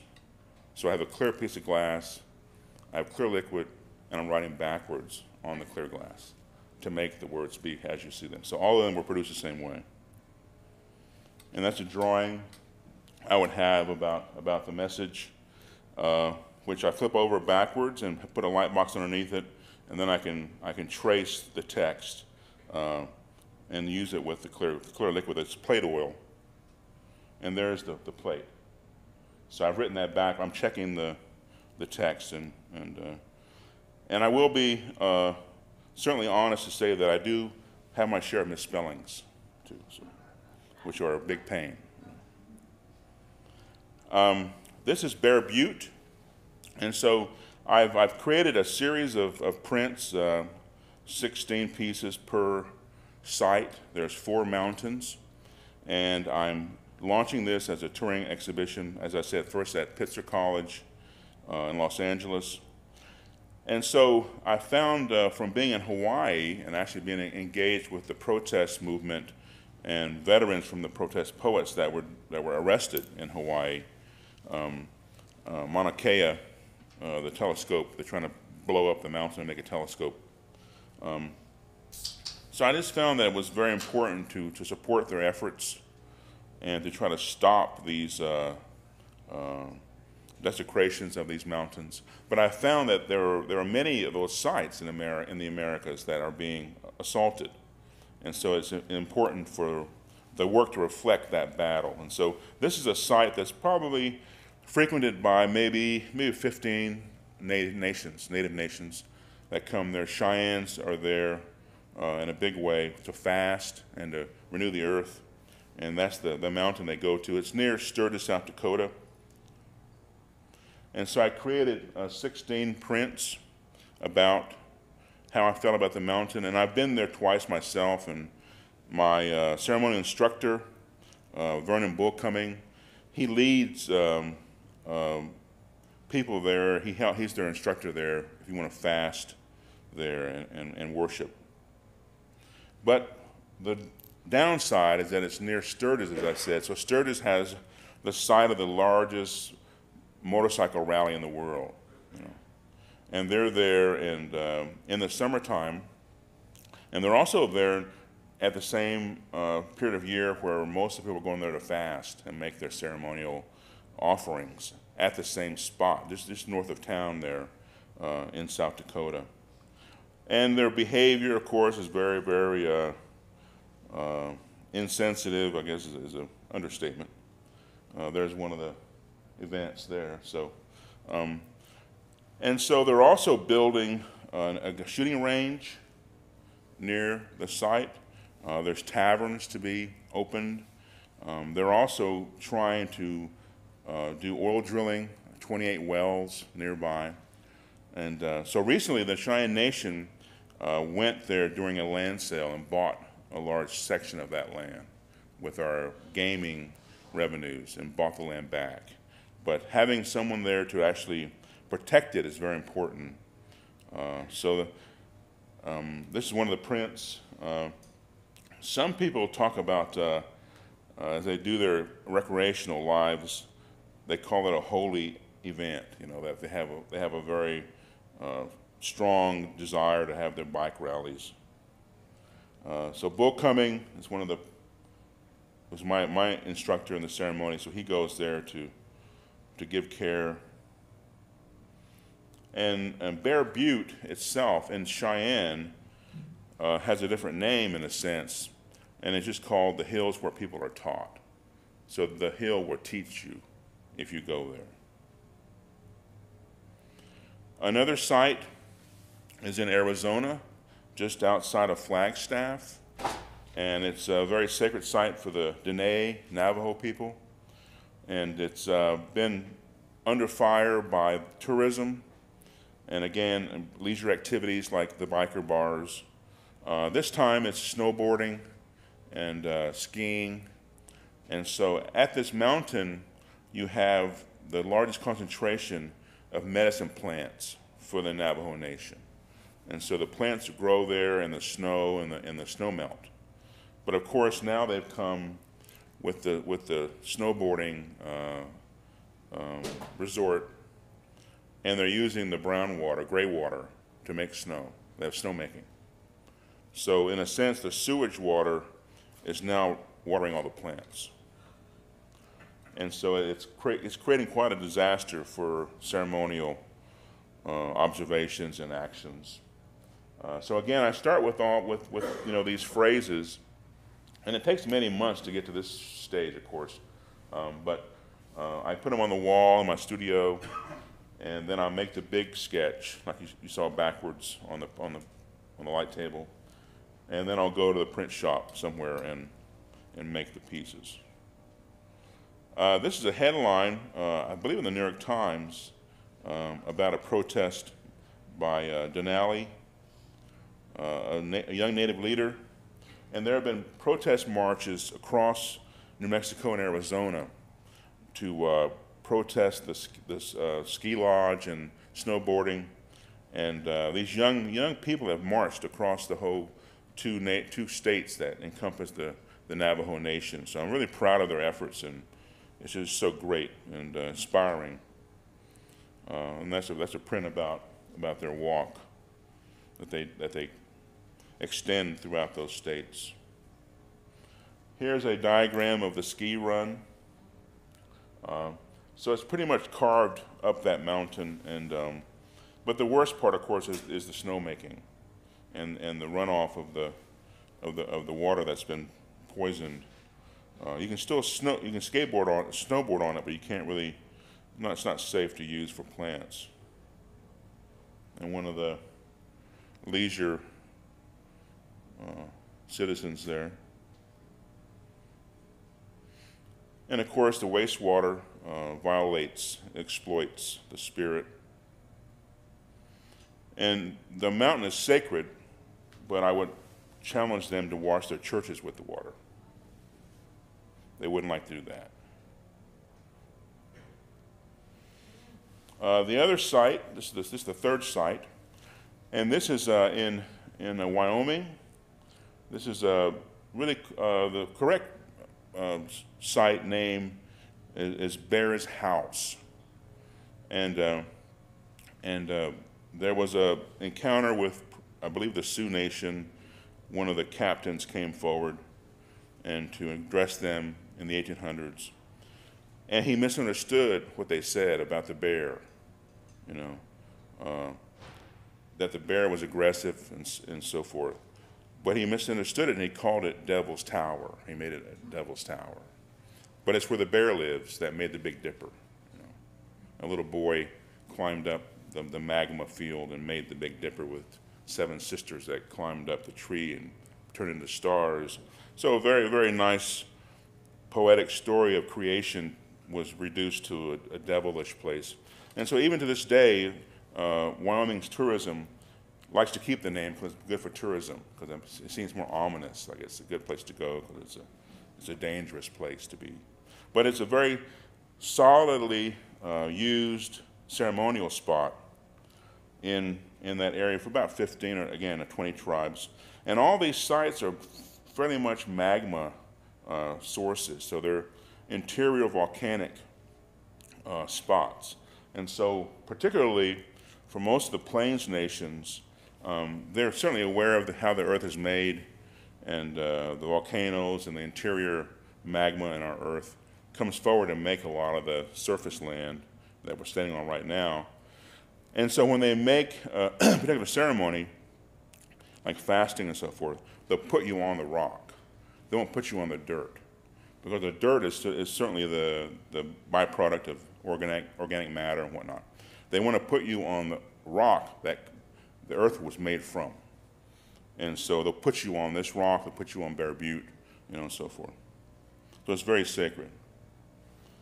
Uh, here are draw, uh, drawings for that site. Uh, Dorothy, Dorothy Firecloud was the first uh, Native American uh, National Parks uh, superintendent, really wonderful Native leader. There she is. And you can find some of her oratory on, on YouTube and so forth. You, can- you can find her lecturing. So it's, it's amazing to finally get somebody from a nation to actually su- support running these parks. She's now in the Southwest, but she was coming from Wyoming. So here's uh, what's happening to uh, Bear's House. Um, again, tribes are coming there to make to worship, to renew the earth. There's even even there even they even had buried remains there. Tribes that come there to bury remains, and now it's a repelling site. It's a place to climb, uh, and they've asked the the, the climbers uh, to respect the, the times of year when the tribes go there to make their ceremony. Um, but that hadn't really helped very much to be just respectful. Uh, they want to climb in the summers, uh, and particularly the uh, the economic apparatus of the tourism companies that guide you on the tour. You know, they actually sued the government to let them climb, and they said that if it was a sacred mountain, then it was a misuse of religion in the government to let the Indians have their mountain time, that it was against the law to have religious consideration.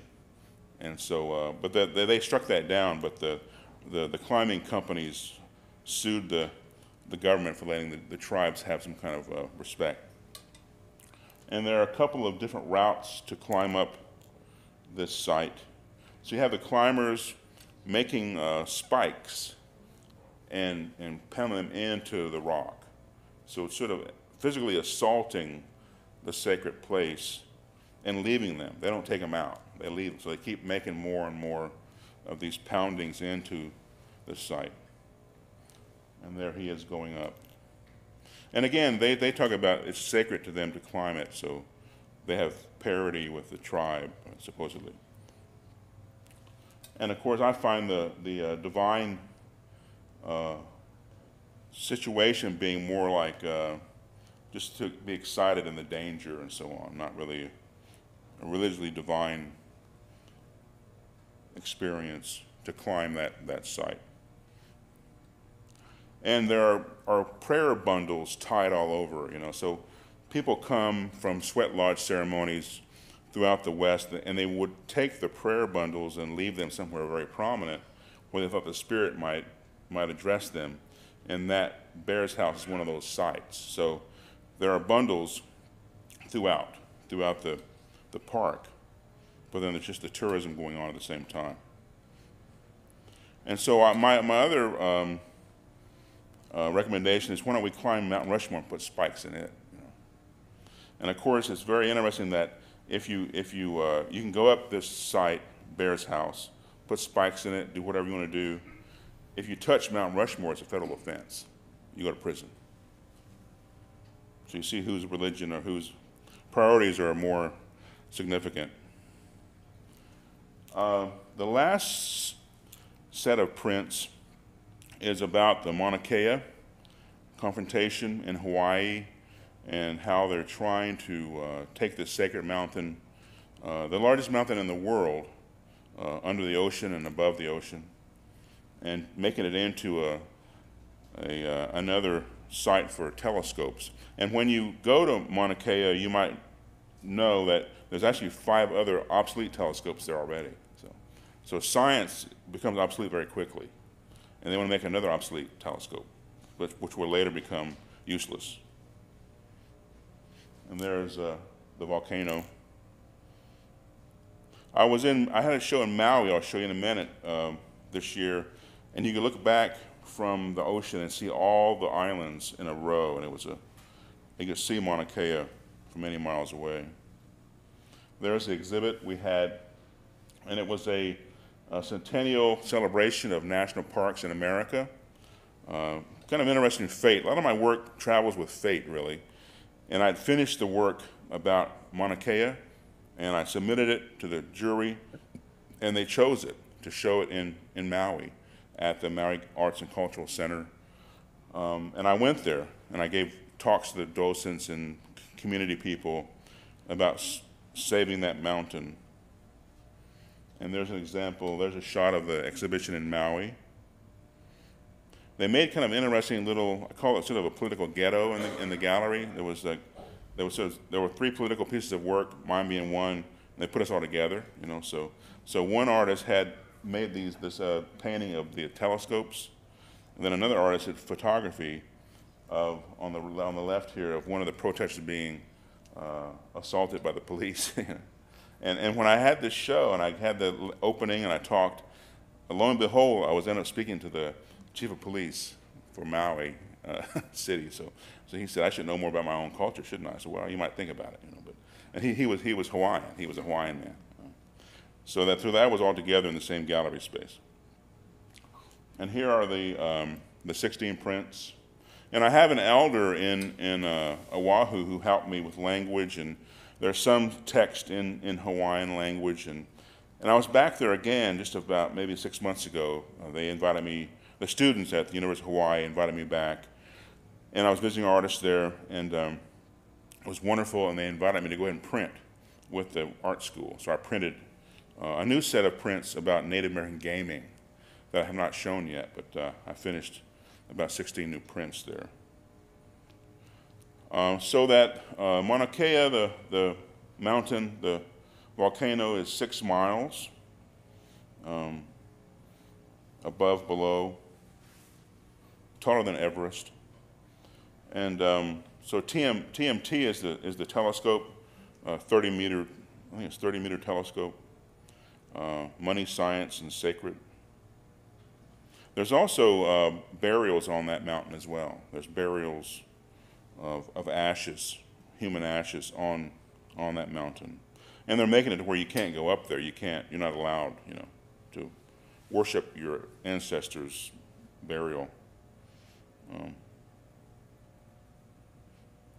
but I really enjoy the printmaking process of how the ghosting of the letter happens, you know, how it becomes a shadow, and all those things are, in some, in some cases, out of my control. So I'm really there to receive what the print gives me, and, and even the spirit of making these, these prints. Although they're text-based, um, I'm really kind of at, at, I'm involved with the will of the materials, you know, the oil, the ink, also the humidity, the, the level of altitude on the earth, um, all those things have a lot to do with how the print turns out. And I, and I, I learned to accept it, so I just, I'm very excited to see what it, how it comes out. It's not, it's not a dictate at all. And, and I like, you know, that honor, honoring kind of system. Uh, they hauled away the uh, protesters as they prayed and, and put them in, in jail. And this is another slogan that they uh, the protesters used on some of their, their signs. And I think it's, it's very wonderful, um, as if all of us could conduct ourselves in this manner, you know, that if your grandmother was over here, you know, grandpa was over here watching you, you know, you, you do things very differently probably, you know. So, so having your elders uh, conduct yourself as, if, as, as though the elders stand among you, uh, very important.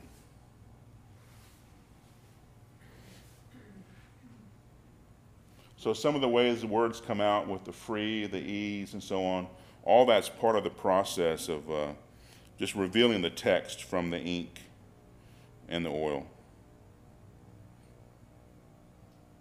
And these are all 15 by 22.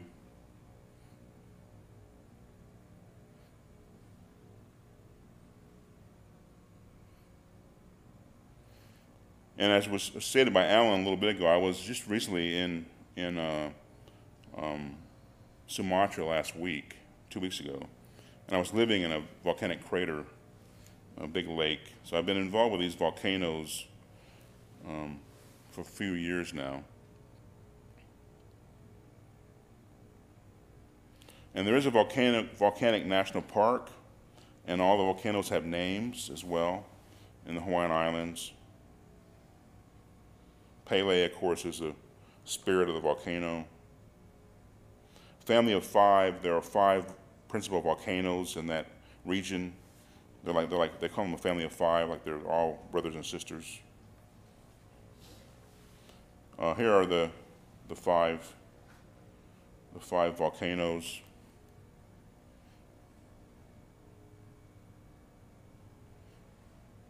And of course, uh, uh, Haho is, is just a kind of generic phrase and for Native people, thank you. Uh, Aina the land, aloha is the spirit. And this piece uh, is pretty simple and I think profound in that how they would discuss their sentiments. Um, so this, this is for to pray everyone together for our land, for all of us to pray together for our land, you know, in the Hawaiian language. And again, we are land, land is us. And this is Maui, another volcano spot. And my friends who live there. So it's for the people uh, and Native women that I give this talk today. Thank you.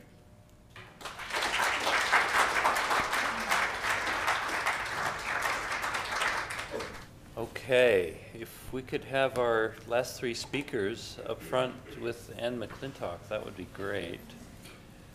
Um, Some really um, interesting and thought-provoking material to discuss, so I look forward to this conversation quite a bit.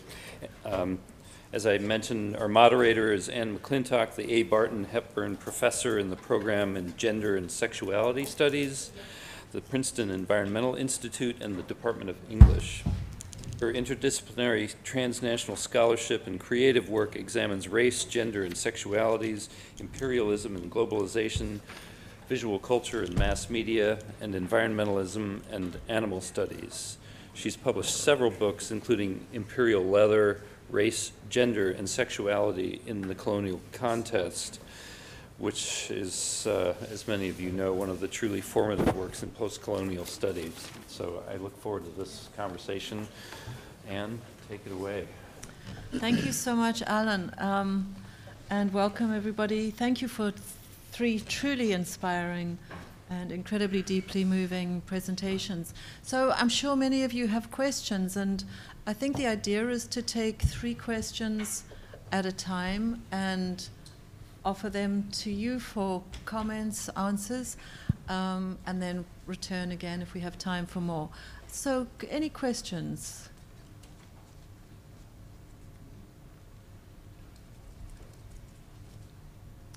Questions or comments?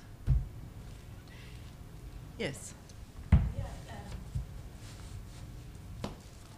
Um, thank you all for um, three really fascinating talks. And there were a number of um, really compelling through lines I found as you kind of talked about all of all of your, your work. And so I wanted to, to pose a question, kind of to all three of you, or to any of you who want want to respond. Um, I was really struck by the way that, that all three of you um, kind of uh, ideas about decolonization, but at the same time that your work all um, really engages and, and utilizes um, operations that historically have very much been, um, you know, been involved in processes of colonial control, um, uh, you know, and, and indeed violence. And I wanted to just ask you, um, I guess, you know, what I noticed at least, um, Mr. Baloji, in your work, your engagement with the archive, with this process of compiling information. Um, Mr. Banerjee, you mentioned that the archive doesn't so much interest you, but I noticed the way in which your photograph, your, your sort of tracing the photograph, um, had to do with its producing its own archive. And indeed, your adoption of this aerial perspective, you know, very much, um, you know, references, you know, histories of kind of, um, you know, visual visual control and a, and a sort of an authoritative view. Um, and Mr. Heap of Birds', um, uh, your engagement uh, uh, with um, this kind of, uh, you mentioned you make lists, this kind of listing, and I like to, I'm thinking about your work a lot as a kind of inventory. So all of these ways of, of compiling, of mapping um, information, do you intentionally sort of utilize these operations as a way of, uh, is this part of your kind of decolonizing perspective, or might you speak more to that? Thank you so much. Are there any other questions we can take at the same time, or we can simply go straight? Let, let's go straight to the panel. Let's go straight to the panel. Responsible You the elder. I'm the elder, is that what he said? Man. I got a seven-year-old daughter, what are you talking about? Uh, I'm not sure what you mean about the, about the listing or, or the inventory? Is that what you mean about the uh, decolonizing? You can tell me I'm wrong. I just noticed that your, your listing, your compiling of, of words and language seemed to me, you know, um, that has a long history as a way of, of you know, kind of colonial forms of inventorying um, information, of, of inventorying even indigenous language and terms. Uh, no, no. I, I think my work. I, I don't see it. What it's kind of presented on the wall that way, and I, I do have it. It does accumulate, but I see the pieces as sort of singular uh, prints, and and each print has six words, and I limit myself to six words, and I have so this whole mental process of just thinking in those six. Like heap of birds is three, so it's like two sets of my name in a way, and. Um, and so I just use that as a as a as a methodology, I guess. And um, although I, I, put them together, I like to have a large kind of impact of a wall of words. Uh, and but I see them more as individual expressions, you know, and I, and I and they're made individually. So so I mean I mean the the, the inventory is in my studio to keep it straight as to what I got to do to go to this print shop, you know. But uh, uh, and and I show that once in a while, but not very much. The whole the wall, the preliminary wall. Um, but I'm really involved with that singular print activity uh, and so the alchemy that comes out of that process. And I don't know if that was very, uh, uh, you could see that in the, in the process, but it's very alchemical, you know, when you go, you don't know what you're going to get out of that process. And, but I, but I have come to enjoy that as well. So, so for me, it's more or less the, the moment I paint that, we pull it off the press, and I look at it, you know, and I can alter it a bit. I can get in there and, and fuss with it a little bit, tiny bit, but, but pretty much whatever it comes off as is the experience, is the message, is the, the piece of work. So, so the, the big list isn't really very significant. I think your observation is absolutely true for what I've been trying to do. So, both on the literary and the visual. So, I very quickly alluded to how let's say the indigenous people are using uh, words and terms that are deeply uh, dispossess them. So the word wilderness, when Sarah James is using, I learned by living out in the wilderness. So the very first thing about the Wilderness Act that was uh, passed in 1964, uh, the chief architect of that act, Howard Zahniser, said man himself is a visitor who does not remain. So you can't inhabit a wilderness. And here is Sarah James saying, I learn by living out in the wilderness. So very clearly she's doing something clever, but it's actually more honest than that because she and I did an event together at Harvard uh, quite a few years ago, almost 13 years ago. And uh, uh, her friends from the Thoreau Center nearby at Concord came out and greeted her and met with her and all that. And then Sarah started telling me these stories, which is really bizarre story of she growing up in out on the land. That's what she did until about 1960s when they took up the village life. And her father had a copy for some reason of uh, Henry David Thoreau's Walden so she was actually introduced to the idea of wildness or wilderness. I mean, Thoreau actually used wildness, not wilderness. But nevertheless, so the, these terms are being very consciously used, the terms that have dispossessed them through the process of colonization, because the whole history of conservation in US has been very colonial process, very much a part of settler colonialism, is now being used by indigenous people to subvert that process. Uh, because, in a way, her use of wilderness is actually very deliberate because that's the only form of legislative action that can stop uh, any kind of industrial development. National park, national refuges, national monument does not. You can go drill, mine, or any amount you want in national parks and all these other places, but not in wilderness. So it's a very deliberate use of that. So similarly, back into my back to my uh, visual approach, absolutely. So the language of aerial photography is used for two different, at least two primary purposes of very colonial. One is military, because military, uh, it's a very military perspective. The other is geological. So geologists look at the land from the air and scope it out, which is precisely how you go get your oil or coal or whatever you want. So yes, I am indeed using the visual language of processes of colonization to then do something else to bring the biology and the indigenous rights. So in a way, and maybe I'm learning from my friends in the indigenous communities that we are kind of using these uh, structures and processes to then uh, activate something else, the process of decolonization. Yeah, so your observation is very pertinent too. Yeah. Yeah, um, for me, it's, um, I think uh, I started by making drawings and making cartoons with friends. And, uh, um, and we came up to, it's because when I was studying at, uh, at a primary school, even at a secondary school, it was in a Catholic uh, school, and I was uh, really um, interested by um, comic books, but, uh, but, all those comic books were coming from Belgium. So, um, and, and, they were only white in those, uh, you know, um, comic books. Uh, and with friends, we started to think that how can we, we couldn't, uh, I mean, identify ourselves in those comic books. And then we started to think how we can start to work on our, our own history, our, our own environment in a way.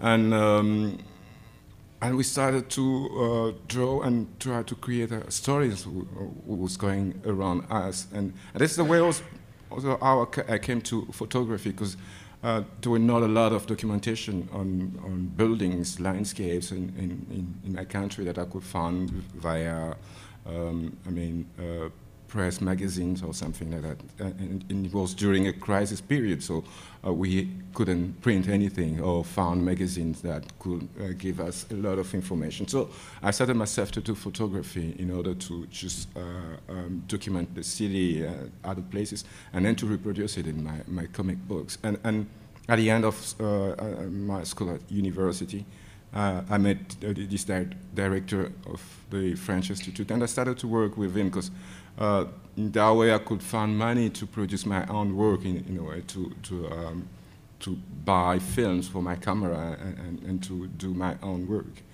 And uh, for him, what it was interesting is to do this kind of documentation of the uh, colonial heritage, which I've never, uh, as I said, learned uh, when I was at school at all. So for me, this building was part of you know, uh, the reality without knowing really what, how it happened to be the city and what discrimination was behind and exploitation and all, all, all, all this uh, uh, history. So when I discover ICAS, it's kind of something that, um, in a way, um, shows me uh, the other side because uh, as I was saying, during the dictatorial period, it was just, yes, Belgians are bad, white men are bad, but it's not enough. There are, there are a lot of things behind, you know, in a way, it's not just to, to, uh, to, um, to start a story uh, from 16. I mean, uh, we, are,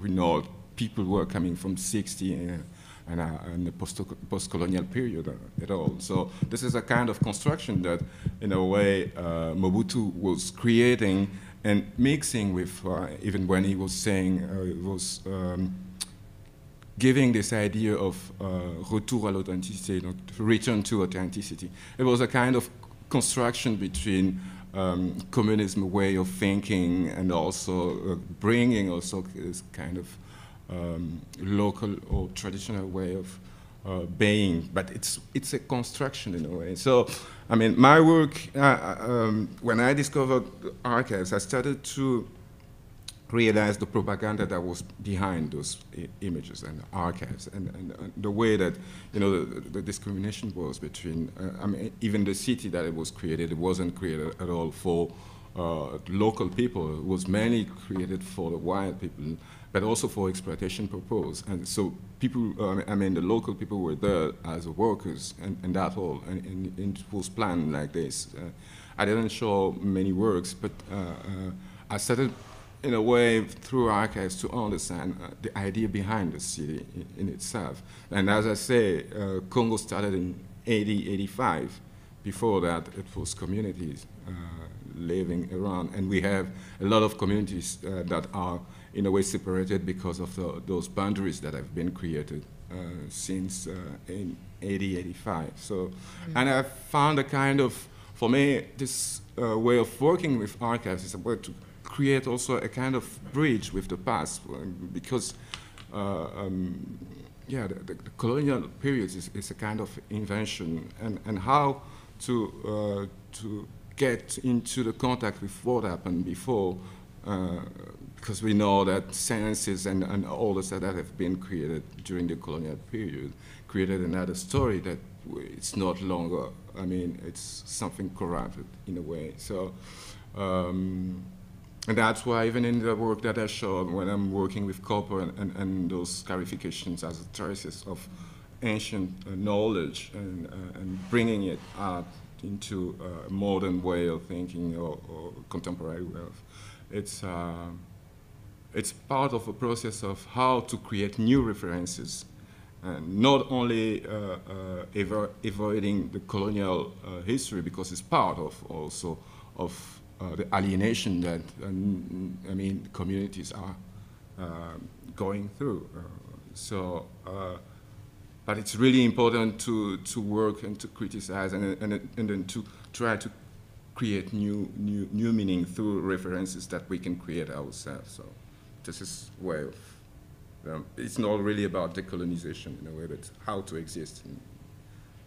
I just want to say, um, you were Hello. That um, I found your video piece, memoir, that you showed at the end, Yeah. to be just amazing. thank you. Just Mm.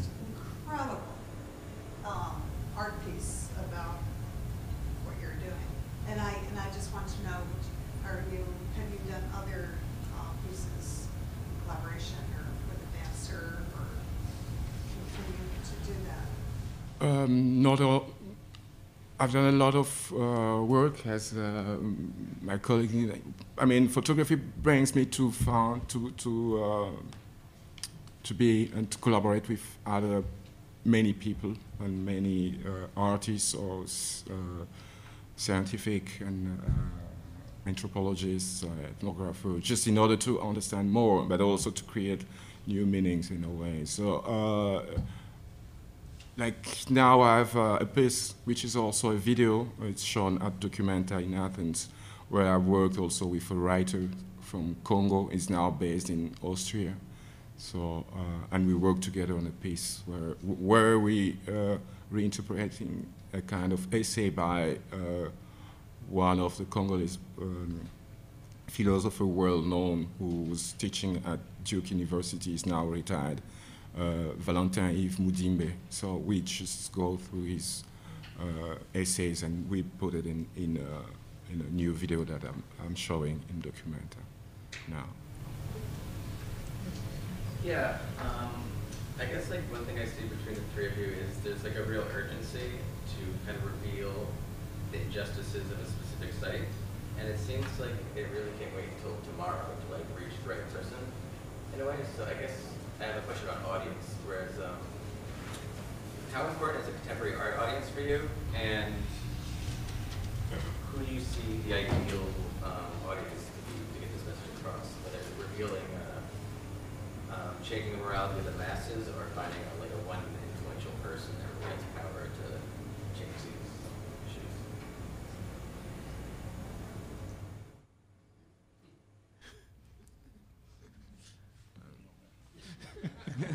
Well, I do a lot of public art, you know, too. That's what the, this card is, is the permanent set, of 12 signs in Vancouver at University of British Columbia. And they're permanently in the ground. There's four at Pitzer College, and uh, there's, there's 12 at Anchorage right now in front of the museum. And they always um, say, like, Alaska backwards. Today your host is, is uh, uh, Athabascan, or, you know, has 12 nations of all the, all the um, Alaskan tribes. And um, and I continue to make those. They're called native hosts. Um, so that, and I'm trying to turn the, the state around backwards to see their past in a different way. So I turn the word around, you know. And so I'm doing a lot of public art projects all the time and a lot of prints, as I said before. But uh, the public art tries to get to the core of, uh, in some ways, the media, and then become sometimes they're, they're thought to be provocative or inflammatory, and I've done more aggressive things too in, in Europe and elsewhere. So I, I don't mind being inflammatory and uh, making people angry, you know. And if you do that, then you become newsworthy.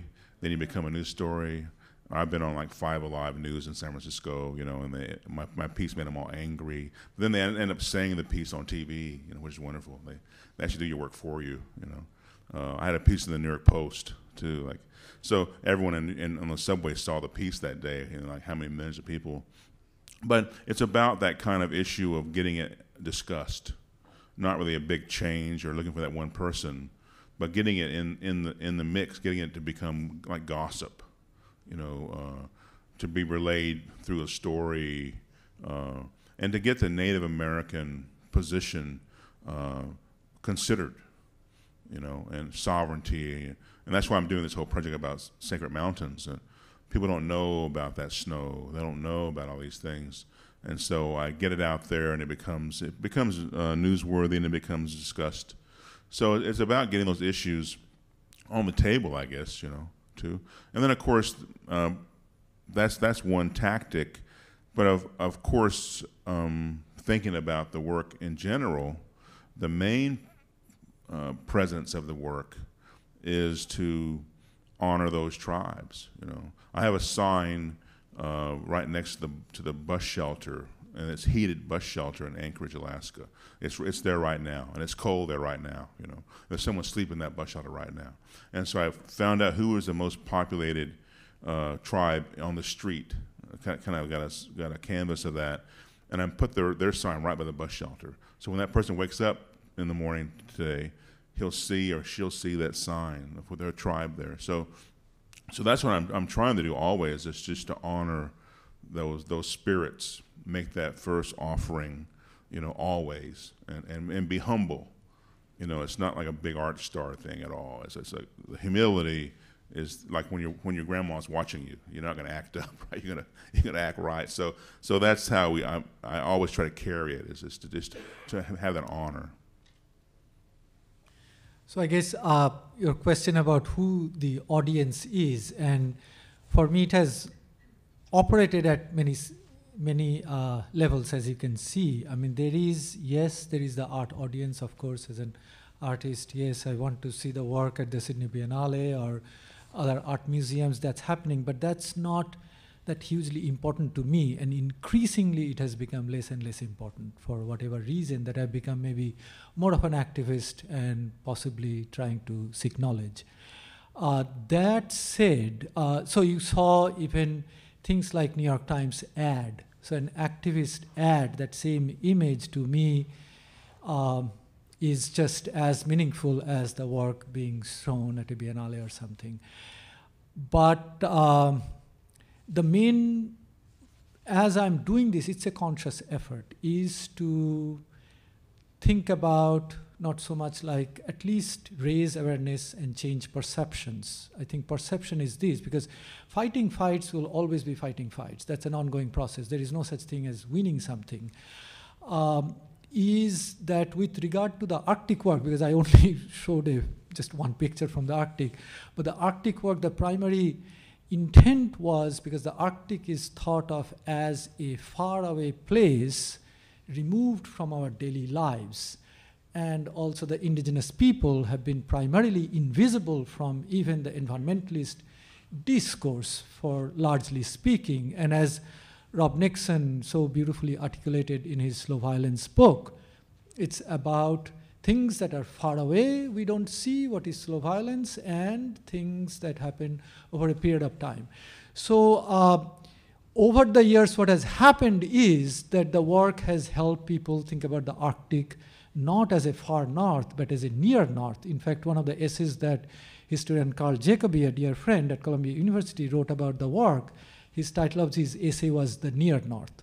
So I think more than anything else, thinking about the Arctic as just uh, not a faraway place. That said, in my other works, which I didn't get into, Alan only alluded to, is again, is this changing of perception, is the second project I did, did was basically just walked around my own home for five years in a five mile radius, that's all. and called Where I Live, I Hope to Know. And the curator of that show, who is now the chief curator at the Portland Museum of Art, she's a fourth generation New Mexicans. And when she came to look at the work, she said, Wow, I didn't quite think about New Mexico this way. It was something very mundane work. Uh, and the Pacific Northwest work that Alan alluded to that I did was the same thing where I lived. So for me, the Arctic work is kind of an anomaly in a way, but it's the only one that I keep going back to because of its political uh, situation. It's threatened again and again, but most of the other works have been about the local. But even within the local, how do we rethink where we are? Um, uh, for me, uh, I think, as I said before, we started with friends, uh, actually, and trying to create our own uh, stories uh, and to communicate between us.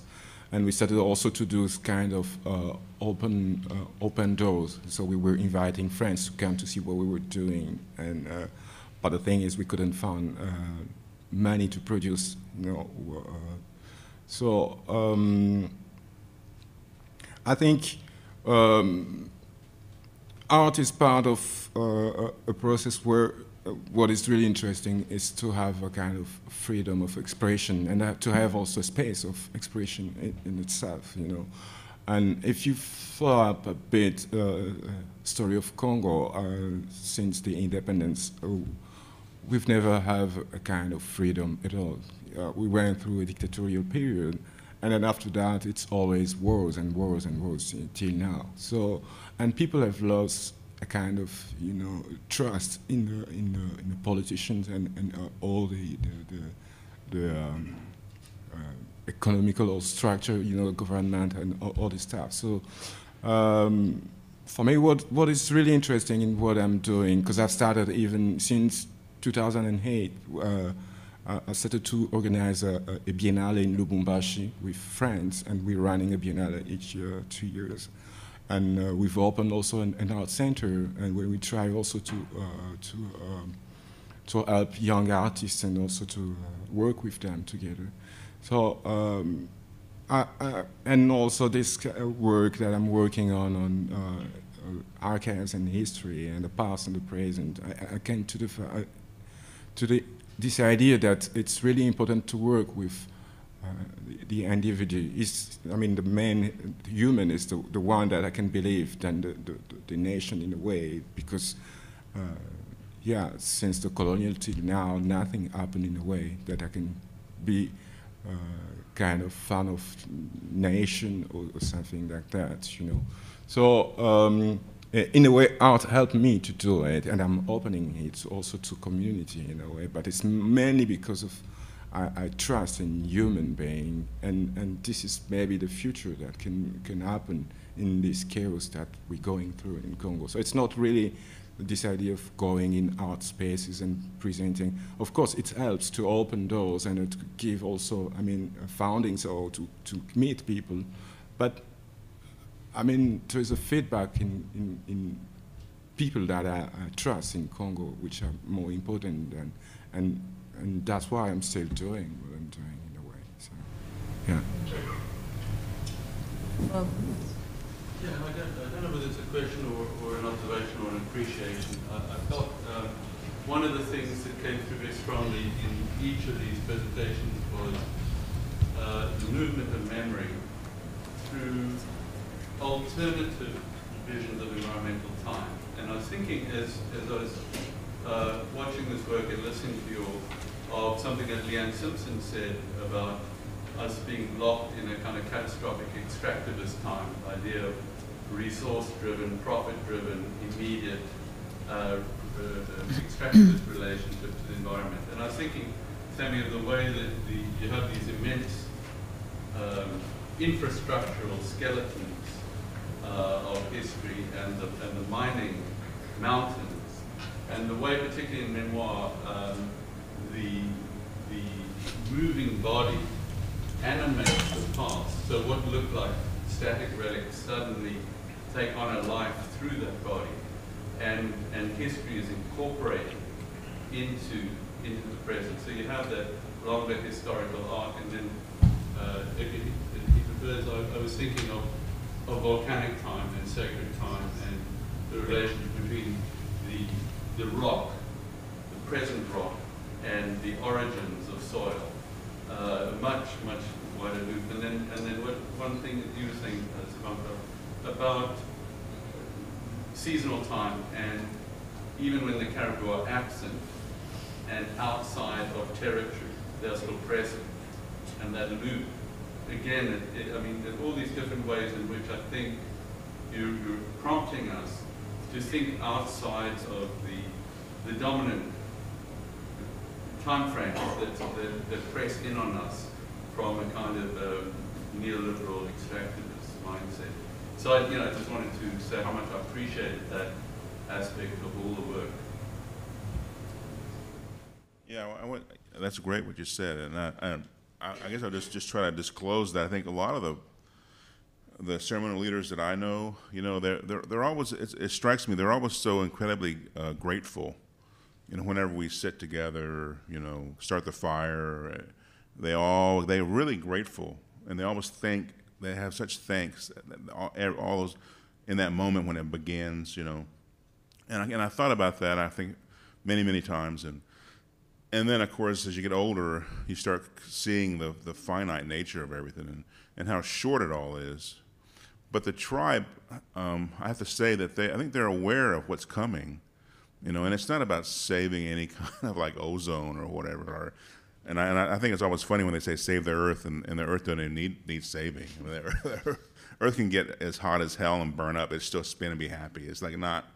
It's not. We we get we get vanquished. Earth don't care about that. It's not. You know. Don't care about that. So when people say save something, they mean save me. They say save me, please. But but uh, but in that in that day to come, when that Earth does move closer to the sun, or something happens, and, and we're not here to talk about anything anymore. Nothing, no matter what your values are, you know um, leading up to that point, it would just be great if, if humans could do something, you know, in homage of this planet. You know, not, not to save themselves and not to make money or save money or whatever, get a new church or anything. This is just, just do, to, to be grateful, I guess, and to be, be humble and to uh, engage this planet, you know, and eh, like every day you get up every day. And, and and just be thankful you got that day. Of course, it sounds kind of trite, but but the, but the tribes have always been very thankful in the sense like it's it's gonna it's finite. It's it's not forever. It's not gonna be forever. An economy forever or environment forever. It's not gonna be, and they know it's not gonna be, and they knew that ten thousand years ago, and so they're just they're just very grateful all the time, and and I think they seem to make some kind of adjustment to to offer good things because there is a limit, you know, and it's not about saving anybody. It's just what's your contribution going to be? Who can make that? Let's make that now, like right now, you know, and tomorrow on the next day, and and uh, and so that's why that's what I think that comes to that that ancient rock, and it just goes back into that rock that's going to come back. It's flowing right now in Hawaii, like you know that, that I was going in the sea to right now this moment, and and so there's that continuum, but there is a there's going to be a limit to, to our, our awareness of that too. So. Thank you, Rob. For uh, it's it means a lot coming from you. Uh, the the the temporal time, like being there, there's a lot of different uh, things that happened, and I can mention at least one or two. One of the um, that then later I started thinking about the idea of time or slow time. Um, it actually started with a very simple thing. Robert Thompson, who is in Inupiaq, very close friend now, uh, we would travel, and the first thing he observed, he said, "You are moving too fast. You will die." And I said, "What do you mean?" And he said, "He said, I mean it literally. You are going to die." Because you don't die from the outside cold, which was like 120 below zero wind chill, but uh, he said you will die from perspiring from within that's how you die. That's how you get hypothermia because you're already clothed fine. But if you move too fast, so you have to slow down. So he meant both metaphorically and so I started learning about slowing down. So now speaking of speeding up, is there was a uh, an Yupik elder, she passed away since, uh, who told this to her nephew, something called the earth is faster now. And what she was really referring to is that they would be able to predict the weather quite accurately. Not anymore. They can't predict even anything. I mean, people are falling through the uh, frozen river in ice, which I did and almost died in November. And so this idea of the earth is faster now, which became the title of a book that Smithsonian published in 2002, The Earth is Faster Now, to anthropologist Igor Krupnik and the other person. It's a collected volume with contributions mainly by indigenous people from the Arctic. So there has been this great disruption, a slow time that you brought up as it then intersects with this fast time that everything is faster now. So what do we do? I mean, I don't have a any. I'm not trying to uh, say anything a solution or something, but I think people are thinking about how these two times are beginning to collide and what to do about that. But we have to slow down. I mean, hearing stories and slowing down was a big part of being in the Arctic. Do I have to say something? Oh, thank you. thank you so much for your feedback. Thank you. Yes. Um, I just have a basic question. If you were not doing environmental activist art, would you just do art without a message, without, you know, just painting flowers? And would you, and, and could you, at this point, now that you stepped out into this kind of Well, yeah, I, well, I just, you know, we had like, like 20 minutes to talk about stuff today, so we couldn't show, show much work at all. But I, I make I make paintings. You know, I'm, I'm very active with my paint. I had a show in Singapore, and it was there were four new paintings, brand new paintings. You know, that are kind of about the earth, and they're about shapes and fish, abstract, uh, blues, uh, and so and, and and some of the text I didn't show today, of course, but I have a lot of text prints about sensuality and relationships and jokes and secrets and you know so in my in my exhibitions i put all that together usually you know and some political things. So yeah so you, you gotta for me you gotta do um, what what what describes you. You know a, a career isn't a slave to some kind of dogma either that's a mistake too and also to, to wallow in a bunch of negativity is bad i mean there's a lot of bad stories we had a lot of them today but but you know there's there's good things too and uh, you know, so I, I don't want to live in that in that world of uh, of all these crises, you know. So I don't I don't do that. I I, I make a lot of funny things and uh, sexy things, and then uh, my paintings about the my life on the canyon on the reservation. So I'm working on all that all the time, and uh, but I, but I think of course the, the, the hammer is the is the political stuff that needs to be pounded at home. It, it's the one that's necessary. So I send that out first to do the job, you know. But but I got other things to do as well. Well, uh, so this is an interesting question you asked. And in the desert work that I did, as it happens, it had nothing to do with the political thing. Like I said, the title was called Where I Live, I, have, I Hope to Know. And it's like nothing.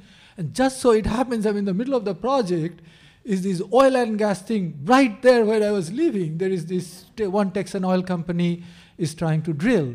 So anyway, so the local activists all got together and they said, "We- we got to do a photo exhibition, submit your work and this and that. And I submitted. It was rejected. Everything that I submitted was rejected. They said, no, no, no, you, your work will not help us at all. But, but I was totally disappointed. These are friends who chose not to use anything. But that didn't stop the work. So it was, it, the purpose was different. So it was really trying to get to know, building an ecological relationship with the place I'm in.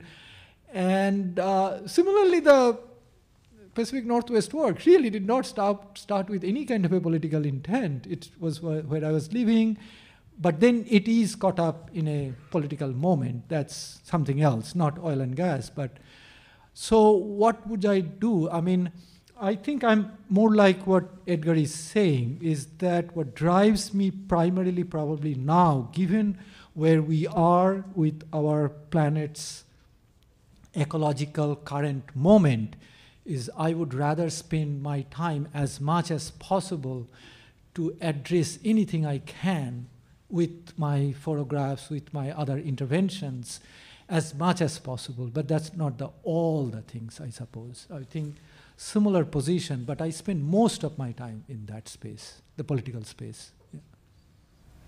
Um, for me, I think uh, it's, it's um, th- there is a confusion in, uh, uh, in the fact that one thing is uh, always how you receive um, by your sensitivity what is going around and how you render it into the society and how you connect with others through what you're giving to the society in a way.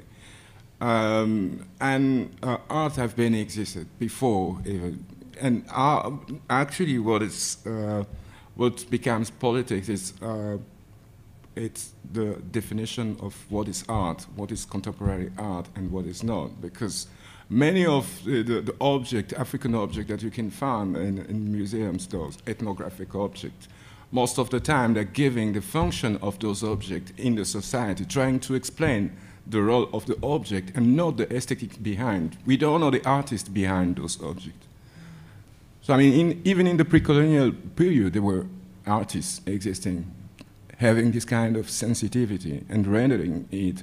And I, even what this is what I was saying about scarification. So it's it's a politics behind it's pol- politics in, in, in sense of police. So you have a city, or you have people around, you have a community behind, you know, who uh, agree about the, the, the aesthetic and the meaning and creating the meaning behind those symbols or those you, you know this. But um, so now contemporary art or modern art uh, has created a kind of, you know, uh, you have a kind of categorization of different types of art.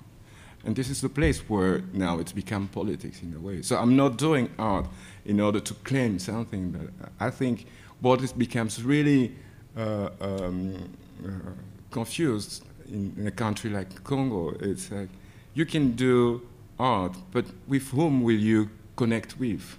because reference have been, you know, shifted, and now we are in a kind of consumerism way of thinking, you know, and having references coming from outside all the time, most of the time. So even if you make something, you're not making for a kind of local society. You have to make it for outside. And I think I want to deepen that. Um, I have to say this that that certainly art. We're talking about art today and ecology, but I I will go to the deepest point and that is your family. That that art is like about this big to me, you know, and and your family. I know Sammy has a has a five year old. Amy's got a six year old. Oh, so we showed we shared pictures last night of our kids, and that's what you really do. I mean, for me, that's what that's what I, that's my real job. it's just being a father and a husband and you know son for my mother and and that's the real thing and all the art and all these other things is, is, is a, I don't know how, what percentage that is but it's it's pretty small because because what's really important is your is your family and your and your community but but how you act in that and try to nurture things inside of that so so that, that's where you kind of come to the art being you can do a lot of things with the art because it's it's uh, it can reflect your own desire but uh, but it's also based on your own nuclear family together you know do we? Should we have one? Do you want one more? Yes, just one more. Thank you. On this last question that I'm not sure why we want to separate art from everything else because I think art is a is, is a way of being and everything flows through a way of being. It's a way of thinking. It's a way of acting. It's a way of knowing the world and it's irrelevant of no separation for me in terms of being an artist. And I'm constantly asked the question, are you an activist or an artist? And I don't know how to answer the question. It's not a category I created. But, you know, do you think or you don't think? I mean, it's like that. So, you be or you don't be. And I think I I am to call it an artist, so it's up to you to call me an artist. But it's a certain way of, of being in the world. Any of you care to respond to that? Well, that's a beautiful way to end a That's a good way to Thank you so much. Thank you.